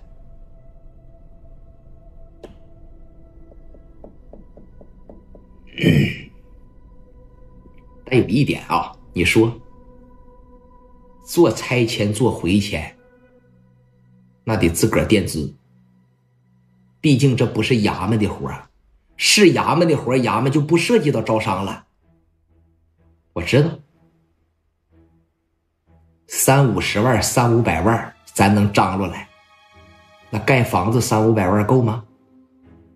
啊，大几百户在那等着，把他们拆走，你没有足够的钱打发他们，怎么拆呀？怎么盖呀？哥呀，没有资方，咱就找资方呗。咱自个儿没有钱，咱就想办法整点钱呗。你说呢？找谁借点啊？磊哥，你现在别忘了，以你现在的段位，以你现在的实力，你借一个亿借不着，借俩亿借不着，一两千万还借不着吗？而且。丰玉他爸就在银行里边上班，咱随便整点什么东西抵押往外套个几百万、千八百万，咱家那四个买卖套不出几百万来呀？东拼吧西凑吧，一边干着一边来呗。有了项目还差还愁没有钱吗？你说我找谁借点？首先第一个啊，我认为不能找刘季他爹要。因为咱毕竟给刘季干死了，他爹现在怀恨在心。磊哥，咱手里边那些照片是不是该用用了？聂鼎荣最近这一段时间有点狂啊，而且通过打听，我得知聂鼎荣最近这一段时间可没少挣钱。咱找他借点呗，一两千万他肯定有，咱们甩给他点股份，头一把咱就当练手。但足足这，但是只要是练练这个手，咱这一把挣的钱比干五年夜总会、比干五年游戏厅挣的都多，一把咱就吃上个大胖子。你的意思是，一方面准备着米儿，另一方面咱们等着港方那边。他是怎么报复咱们也好，他是怎么收拾咱们也好，别管，这不还没来呢吗？咱该张罗钱张罗钱，至于怎么，子涵没带是吧？至于怎么把这个标书要过来，怎么把这个买卖给他骑过来，我认为啊，可以找一找李海这个事儿你就不用管了，还是配合着我演戏就够了。只要李子涵问你的时候，你就说咱俩的事可以考虑。那要个标书算屁呀！老万的领导招来的，那不也是李海的手下吗？老大发话了，老二不干瞪眼吗？咱不就把这个活弄下来了吗？只要这个活一下来，拿出一部分钱来分给聂鼎荣，拿出一部分钱来，咱们兄弟们分吧分吧，剩下的钱给李海一塞吧，这个事儿不就皆大欢喜了吗？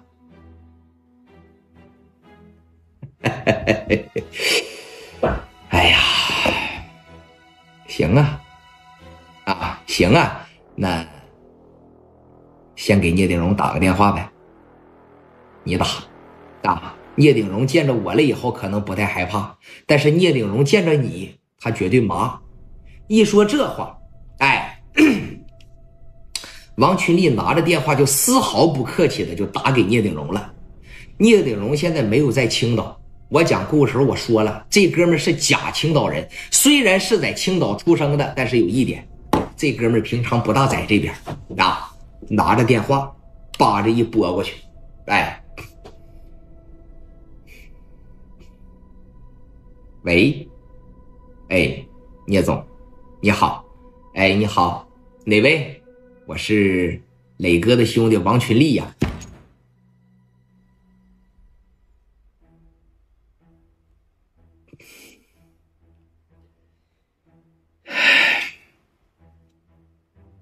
你好，啊，你好，王总，不要喊我王总啊，喊我王总的情况下，你就有点见外了啊。在没在青岛啊？没在，没在是吧？在哪儿呢？在北京呢，在北京呢。好，呃，手里富不富裕啊？借点钱花。你们几个缺钱了？啊？那怎么现在才缺钱呢？早不应该跟我要点吗？听着，我们可不是要啊，准确的来说是跟你合作吧，咱都不算是借。我跟磊哥呀，打算开发房地产，从拆迁到回迁一体化。现在手里边呢差点米，想找你呢资助资助。我们打算给你百分之二十的股份。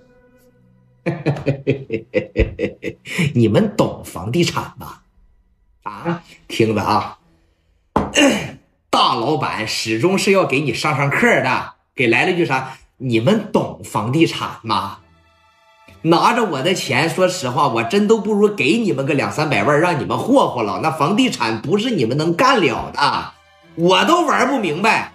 你们还整房地产？但就一点，就光那个钉子户给你们拿的就死死的。行了，兄弟，缺钱花了，这么的，百八十万我给你转过去，我都不给你，我我我都不说让你还啊。但你说又跟我一块做生意了，又块是啥了的？咱补的啊，咱补的行不行？那看这意思是不能合作了呗？不是不合作，你们真干不了。那房地产不是谁都能碰的，你怎么不明白这个意思，兄弟？行，那不合作，我就把你这照片印点，我就在北京贴一贴。你就贴照片的情况下，我也不。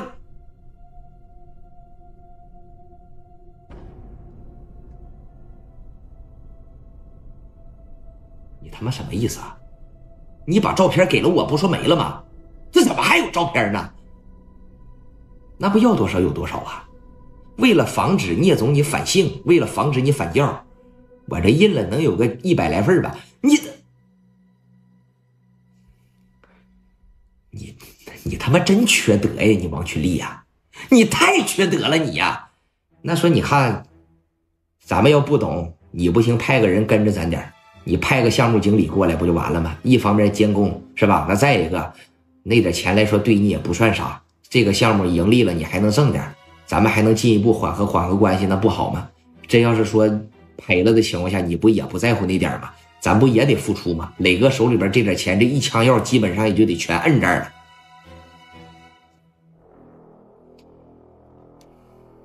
哼，我要不借，我要不合作，你真贴呗？我真贴，我电线杆上，我哪哪我都贴啊！以后基本上青岛的、北京的见着你都得瞅瞅你，都会觉得你脑袋上有一顶绿帽子。这是不是有点过分了？我我觉得一点也不过分。是吧？兄弟们跟着你学学怎么做生意，你派个经理过来监工不就完了吗？有哪儿不懂让他们给说一说不就完了吗？我们不懂你还不懂吗？哼，行啊，我现在马上派个经理过去去做预算，那完事多少钱我他妈给你们打过去。你小子真鸡巴操蛋呐你呀！挂了吧，电话啪的一撂，他真贴。你要不借给我钱，我真贴，我真给你贴的满大街小巷全是。啊！说你看，资金的问题暂时解决了。聂鼎荣马上派过来个项目经理啊，绝对的高材生，对于房地产拆迁回迁这一块玩的绝对是赚。马上就往那个工地上考察了一圈，做了一个预算啊，看看磊哥这边有多少，是吧？刘丰玉那边贷款能贷出来多少？然后呢，我们这边再拿多少？一共是三股，聂磊一股，聂鼎荣一股，然后呢，银行里边一股。大家伙能明白吧？银行里边一股，要不银行的钱是哪来的，对吧？现在基本上就等着啥呀？基本上就等着那帮子钉子户了。你瞅着，磊哥扬名立万的机会来了啊！这个事儿过了，说能有三天，到第四天的时候，港方那边来人了啊，来了，就给聂磊打电话。这小子也是江九集团的老板，这小子这名叫的也比较好听，叫张一建。啊，黑仔呢是他的保镖，来了以后呢，让人给揍了。但是人家这一回领来了一帮狠人，香港的双红花棍，我不知道大家伙知不知道，人家把这帮子人带来了，那个顶个能打。往上你就数着什么十四 K 了、新义安了、双红花卉，就哎很牛逼的，对不对哥？给聂磊打了一个电话，啊，给聂磊打了一个电话，磊哥这边呢，趴着一接。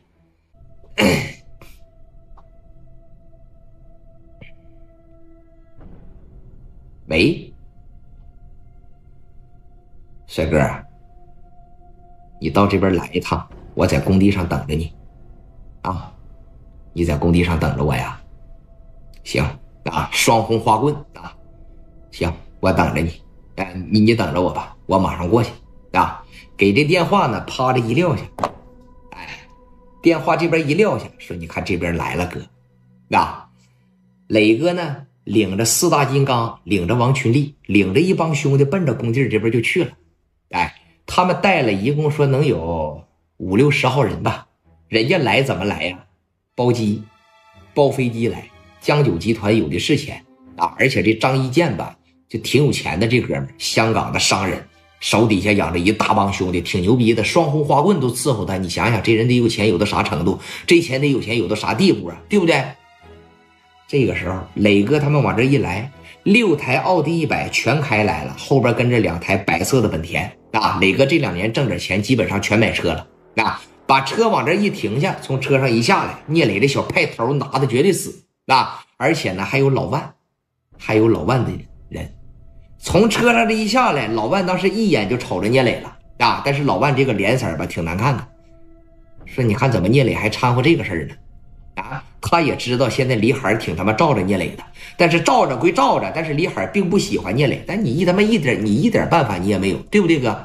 你有啥招啊？那就就李新涵就喜欢聂磊，就喜欢成那样，你没办法，一整就是我乐意，一整就是我自杀。老万的脸色吧，就相当的难看了啊！来到了聂磊的跟前当时就说了：“兄弟，我希望你把这个面给我啊。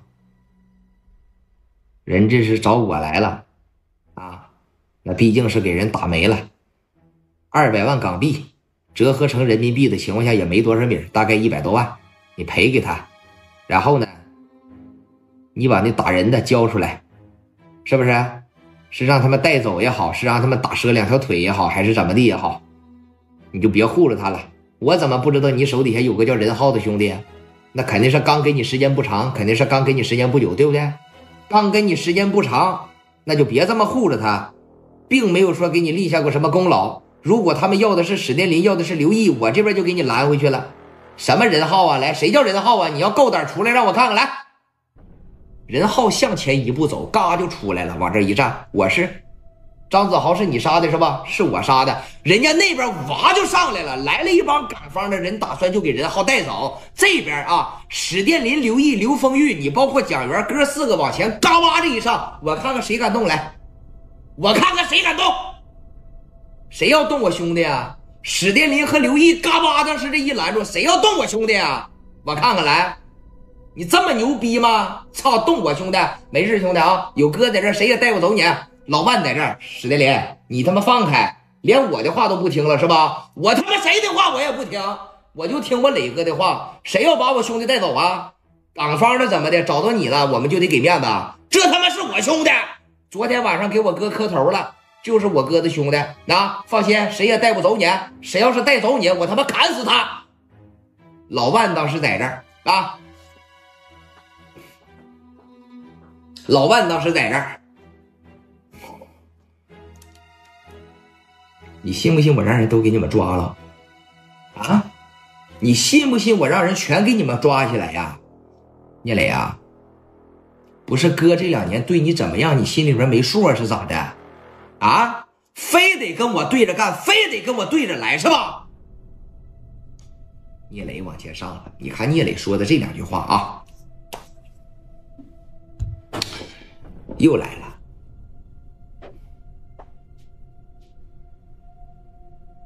大哥，面子呢？我不是不给你，如果我要不认识他，他又不是我兄弟。我指定就把他交出来了。这么些人，我要把我的兄弟们交给他，那我聂磊就不要混了。还有啊，我要是接下来再说个事儿的情况下，你不能撤我嘴巴子吧？啥呀？这个项目我干了，让他们回去吧。你说啥？上去嘎给聂磊的头发就揪住了。你说啥？你再说一遍来，我听听。我怎么没太听明白呢？啊？你说啥？我说这个项目给我，谁也不行干了，我不允许他们干。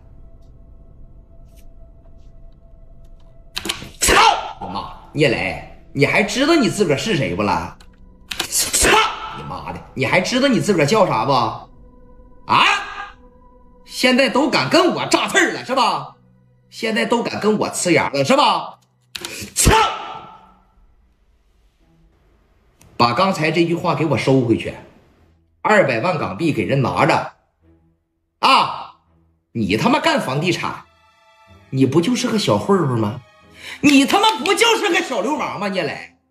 没有我罩着你，你早死他妈一百回了。跟我在这抻脖瞪眼，怎么的？你大了是吧？你在我面前你大一个，你试试。啊！我招商招来的资方，你给人整走，这边撤资了，你他妈垫钱呐？你兜里边有多钱，我太清楚了。把刚才这句话收回去。跟我道歉，跟我的资方道歉，要不然呢？这些年你干的啥事我他妈全给你抖出来。对，老万有油水你必须得有油水啊。聂磊知道说啥吗？就通过这儿，咱大家伙能不能听明白？能不能看出来了？磊哥跟所谓白道上这些人，那就是互惠互利的关系。到关键时刻，老万老万并没有向着你聂磊啊，对不对？人家还是向着资方啊。你聂磊无非一个月给我拿个三五万，给我拿个三万两万的。但是这个活只要一下来，那我这一炮可能就一两百万，可能就两三百万，甚至要更多。那我肯定说有奶就是娘啊！我费这么大劲，我走到了二把的身边，我为了啥呀？啊？有一个月给我拿三十万的，我非站着你一个月给我拿三万块钱利场，这听没听明白，兄弟们？你教不透他们，人家在这个职位上就是为了米儿。有人往这啪拍上二百万，把聂磊给我干死，老万吧唧一下给聂磊就得扣死。老提感情，提什么感情啊？真像加代和小勇这样的感情有几个呀？对不对？人号上来了，人这小子不是小咖了，往前这一来啊，我就在这儿呢，给我整走吧，别打我哥啊！聂磊倒不可能冲动到说打老万，那他不敢啊。有能耐给我带走，人是我打的。这边说，你看港方娃的要给人蹬走，这边史殿林他们啊，操你妈！来来来，从车上拿枪去，把枪拿来。史殿林他们从车上嘎巴给奥迪一百里边把五连发拿来了，咣的一撸，十多个人往前这一站，谁敢动他？我看看谁敢动他。得亏王群力聪明，王群力太聪明了。眼瞅着这绷不住了，人家双红花棍这边也来了啊！雷光要这老刚刚也是这么的就来了，在后边也是一劲叫嚣啊！衰宅衰宅，在这就这样懒宅懒宅，就这个，眼看场面要绷不住了，听吧，谁来了啊？李心寒来了！哎呀，你敢打聂磊？你敢打他不？我问问来啊！你敢打他吗？这家这小劲儿给你拿的，一瞅聂磊那嘴巴子让人扇这么红，往前这一站，他打你了，是不是他打你了？你们凭什么打人呢？啊？你们凭什么打人呢？有事不会说呀？啊？万叔，我觉得你不这样啊。你不知道我俩好啊？你打他，小韩呐，这不是你该管的事啊！你回去，我不。咔，给磊哥的小胳膊一搂住，你打我男人这怎么能行啊？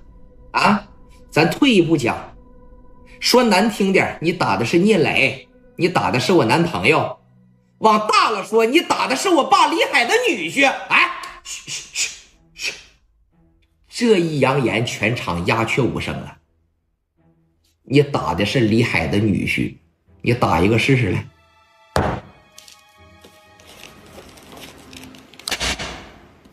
你试试，你打吧。你只要打回去，我就找我爸去，往那一跪，我就是哭，我就上吊，我拿点安眠药我就吃。你打吧，小韩。这不是你该胡闹的地方，回去！我不回去，怎么的？我回去干啥呀？我告诉你们啊，我磊哥想怎么着就怎么着，他想咋样他就咋样，你们谁也管不着啊！你们想干呢，我们也想干，我也参与，算我爸一回，我也参与，让我爸给我拿钱，我也参与啊！我哥干啥我干啥。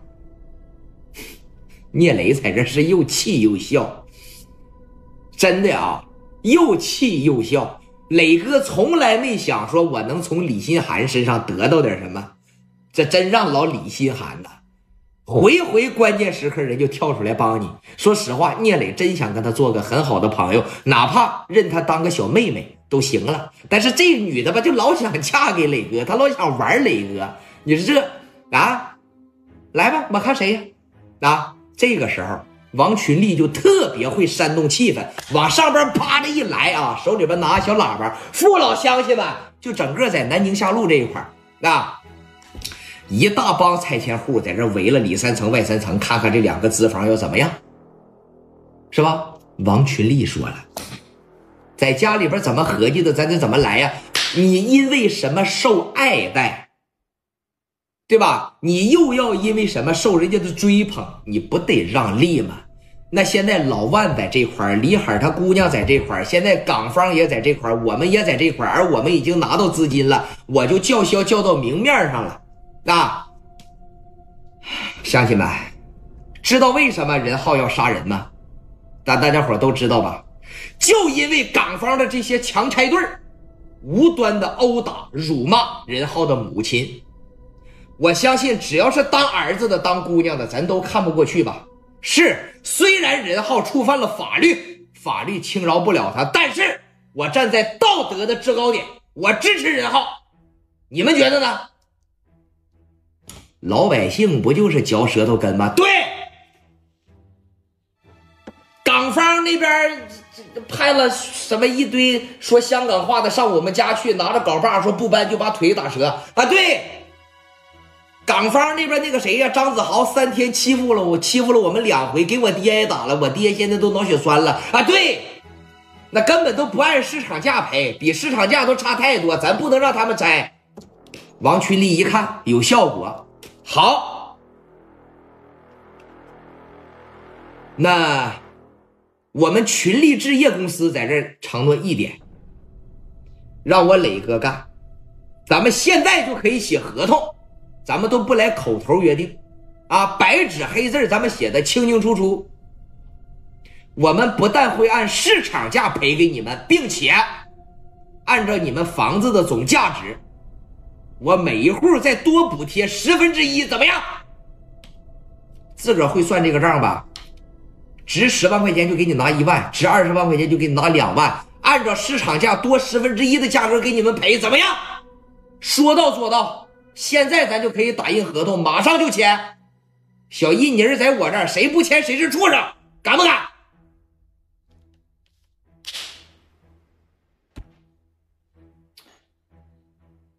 那我问问你，百姓百姓他图什么？啊？他不还是图点蝇头小利吗？那个，我觉得让群力置业拆迁比较好。那个，我觉得也让群力置业拆迁比较好。我觉得也是让聂磊的公司啊，呃，这个拆迁比较好，是不是？咱别说多给十分之一了，那都无所谓，能按正常价格赔给咱们，咱这几百户就搬了啊，就搬了。王群力特别满足的从上边就下来了，啪的一下来，万民说，你听着了吧？这是民意啊。啊，当官不为民做主，不如回家卖红薯啊！老万在这气的脸色铁青啊！你们他妈有钱吗？啊，这个项目干完你得垫资垫多少钱？你知道吗？垫他妈一千六七百万！你们手里边有多钱我不知道啊。聂鼎荣给我们投资了，你谁？聂鼎荣给我们投资了。紧接着啊，磊哥往前面这一上，大哥，你过来一下子，干啥呀？你要，你过来一下子，从这边这一来啊，借一步说话。老万大哥，你别生气啊，我不是说以下犯上，对你不尊重了。你来，这两年你是越来越大了。你是越来越狂了，我看的早晚啊，你都不把我放眼里了，那不是，咱俩能说事儿不？队伍啊，你是打也打了，你是骂也骂了，咱能不能聊聊？我这个活就没打算挣钱啊，那边给你多少回扣，我给你双份不完了吗？对他们呐，你就睁一只眼闭一只眼得了。让我把这个事干了，啊！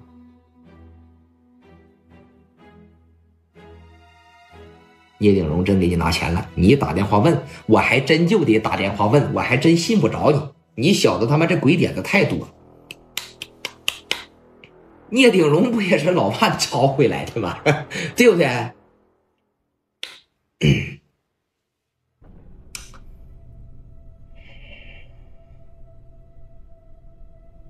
喂，哎，聂总，我是青岛老万呐，万秘书，你好，怎么了？我听说市南区南京下路这个项目，你给聂磊投资了啊？投了，你给投多少钱呢？会计算了七百，他自个儿手里有点然后呢，他手底下刘凤玉，刘凤玉他爹在银行里边工作，银行里边也算一份，一千六七百万根本就难不住他。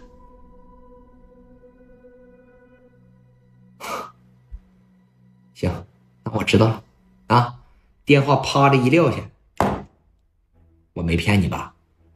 啊，那这帮人怎么办？这帮人我自有办法打发了他。你只要不管他们了，在青岛他们就没人，我给打出去不就完了呗？我干别的不行，打仗我还打不了啊。那李海那边，李海那边你更不用管，啊，就这一个李新涵在这儿，我看着你都麻了，对不对？彪叔不是在他们手里边吗？我会想办法要过来，剩下的呀，你就别管了。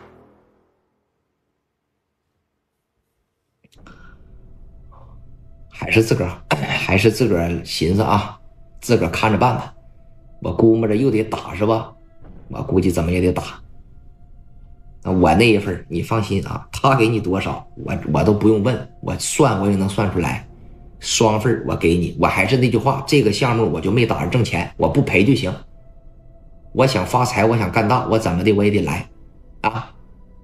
你想想，后边如意小区整起来，我给你来几套，给你家领导来几套。我前面整个如意大厦，现在不是鼓励年轻人创业吗？如意大厦，咱给他整上重创空间，往外租。到时候我应你啊，我拿出五百平来给了你。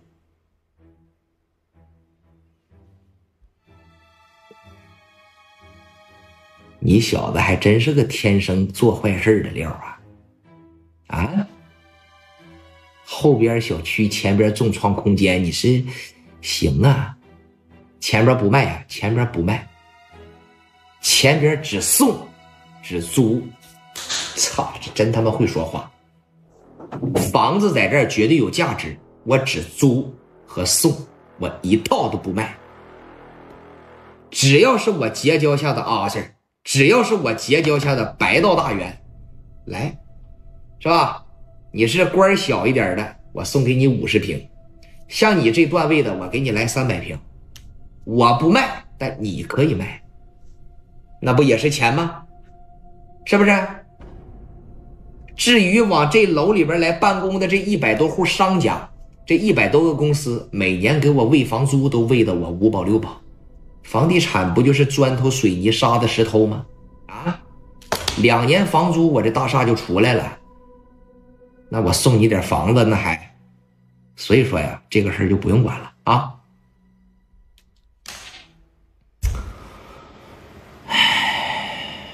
行啊，你小子，啊，自个儿看着解决吧。啊，扭头来到了港方这边，就说了。你们先跟我回办公室啊，有这个事情啊，我跟你们唠一唠。哎，港方这边就跟他回到办公室了。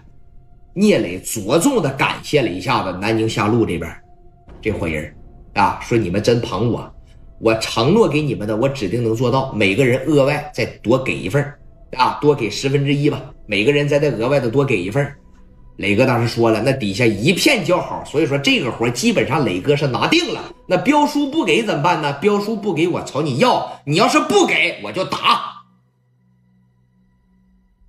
故事这么讲过不过瘾呢？这叫社会大哥的故事，过不过瘾，兄弟们？我先让李海给你要，然后我让老万也劝你，再不给打你，怎么的了？操，就这么霸道！为什么说聂磊号称是最狂的社会人啊？我都已经在收敛着讲了，哈尔滨那个四哥比他更霸道。这个事儿要是哈尔滨那四哥来办的情况下，你知道这个事他怎么办吗？脑袋一歪歪，眼睛在小坑里边，谁也不行干啊！只有四爷能干，谁要干，格杀勿论。那更霸道，那个还记得吧？哈尔滨四儿，哈尔滨四哥四爷，他的左右铭是啥呀？我干，谁也别抢，别管是衙门的活还是谁的活，什么港方的活，什么澳门的活，来到哈尔滨干不了啊！我四爷不点头，谁也不干。谁要是干，马上你的车在哪儿停着，你家在哪儿住，门上给你喷四个字儿：格杀勿论。操！那你看，来到办公室里边，这边又好一顿劝，说你看损失点就损失点吧。啊，不行，我从我的回扣里边给你们拿出来点损失。啊，这个聂磊吧，找到了我们青岛的一把手，那比我的领导要大。他要是从中运作的情况下，那标书肯定是你那一份就不生效了，是不是？人港方这边不乐意了。你把我们招过来了，你给我们晾这儿了，那能行吗？那再一个，我都没有见识到聂磊啥样，你就让我们把标书转让出去，那绝对是不行。于是啊，人港方这边联系人，你不要打我吗？那我也猛龙过江，从康康这边找个大佬过来，明天我跟你对决对决，我看看你能有多牛逼。那黑的咱就打，白的咱就玩，你可别小瞧江九集团，人家在。咱们这边也认识很多牛逼的大咖，人家也认识很多牛逼的大佬，那就注定什么呀？不是猛龙不过江，聂磊智斗香港商。那你看明天的故事啥样？那打的可以说是老热闹了，那是太激烈了。